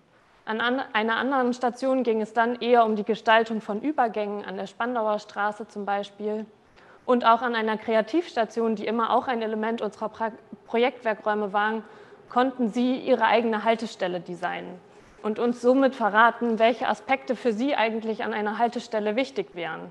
Soll sie vielleicht in Zukunft ein grünes Dach haben oder noch mehr Informationen für uns bereitstellen oder am besten direkt äh, einen, einen Fahrradparkplatz mit anbieten. Das war ein sehr bunter und schöner Abend. Ähm, jetzt muss ich einmal kurz gucken. Genau. Das Forum, das hatte ich eben auch schon berichtet, ist dann mit Beginn der Pandemie in den digitalen Raum umgezogen. Aber das funktioniert genauso gut weiter und wir freuen uns immer über neue Teilnehmer. Dann ist 2020 die Stadtwerkstatt auch über ihr Projektgebiet hinausgewachsen mit einem ersten Projektwerkraum zur Siemensstadt in Spandau. Siemensstadt 2.0 war das Motto, unter dem das neue Innovationsquartier diskutiert wurde. Hier gab es zunächst eine Online-Beteiligung, wo zu verschiedenen Themen und Aspekten des neuen Quartiers äh, Anregungen, Fragen und Informationen geteilt werden konnten. Und in einem Online-Dialog am 27 ähm, Oktober wurde dann hier live vom Podium in der Stadtwerkstatt über die Ergebnisse diskutiert und die Verantwortlichen konnten sich dazu positionieren. Genau.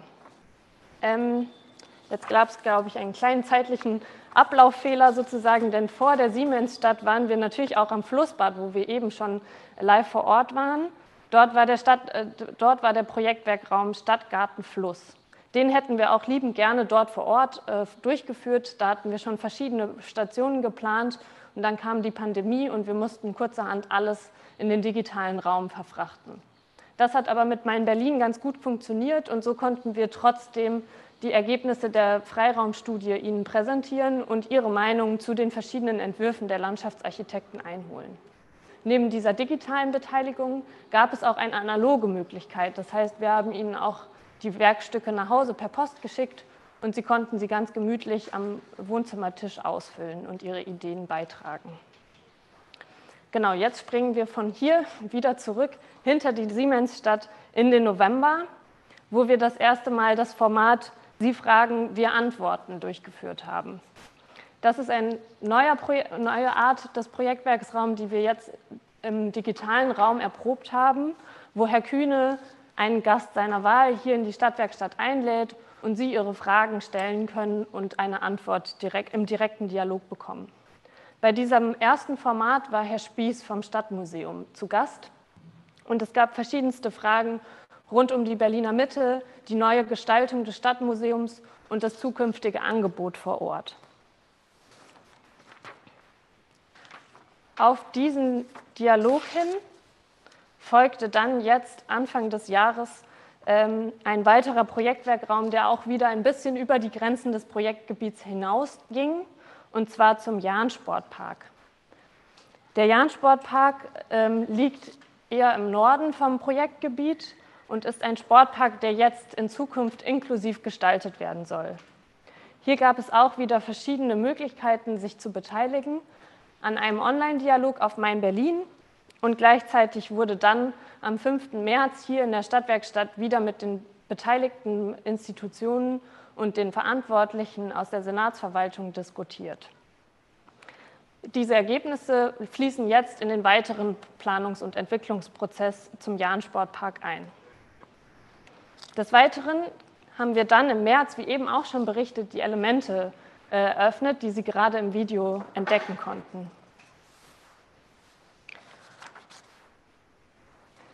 Nach, unseren, nach dieser Öffnung im öffentlichen Raum sind wir dann wieder in den digitalen Raum umgezogen und zwar mit einer weiteren Ausgabe von Sie fragen, wir antworten, diesmal noch einmal zum Thema Verkehr. Hier stellte sich Herr Reubke von der Senatsverwaltung für Umwelt, Verkehr und Klimaschutz ihren Fragen. Dabei ging es sowohl um eine gute Fahrradinfrastruktur, die aus der Stadtgesellschaft gewünscht wird, als auch um Möglichkeiten, wie vielleicht bezirksübergreifend in Zukunft Verkehr geplant werden kann. Hier gab es ganz verschiedene Ansätze und es kam zu einer sehr schönen Diskussion. Jetzt zuletzt gab es den letzten Online-Dialog zur City West ein drittes Projekt, das die Stadtwerkstatt äh, für sich genutzt hat, um eben in einen direkten Dialog zu kommen. Online konnte man sich hier ganz genau über, die, über das Entwicklungskonzept an der City West informieren, Fragen stellen zu ganz verschiedenen Themen und diese dann wieder am 5. Mai hier vor Ort in der Stadtwerkstatt diskutieren. Ähm, genau, das waren sozusagen unsere Veranstaltungen in den letzten drei Jahren hier vor Ort. Jetzt ähm, gucke ich mal kurz. Es dauert, glaube ich, noch einen Moment, bis Herr Kühne hier für einen Ausblick kommt. Solange kann ich Ihnen vielleicht schon mal berichten. Ähm, ähm, kann ich gleich schon mal berichten, es geht jetzt hier gleich weiter. Ähm, Herr Kühne müsste jetzt hier gleich an der Ausstellung an der Fensterfront vorbeilaufen und zu mir hier ins Studio kommen.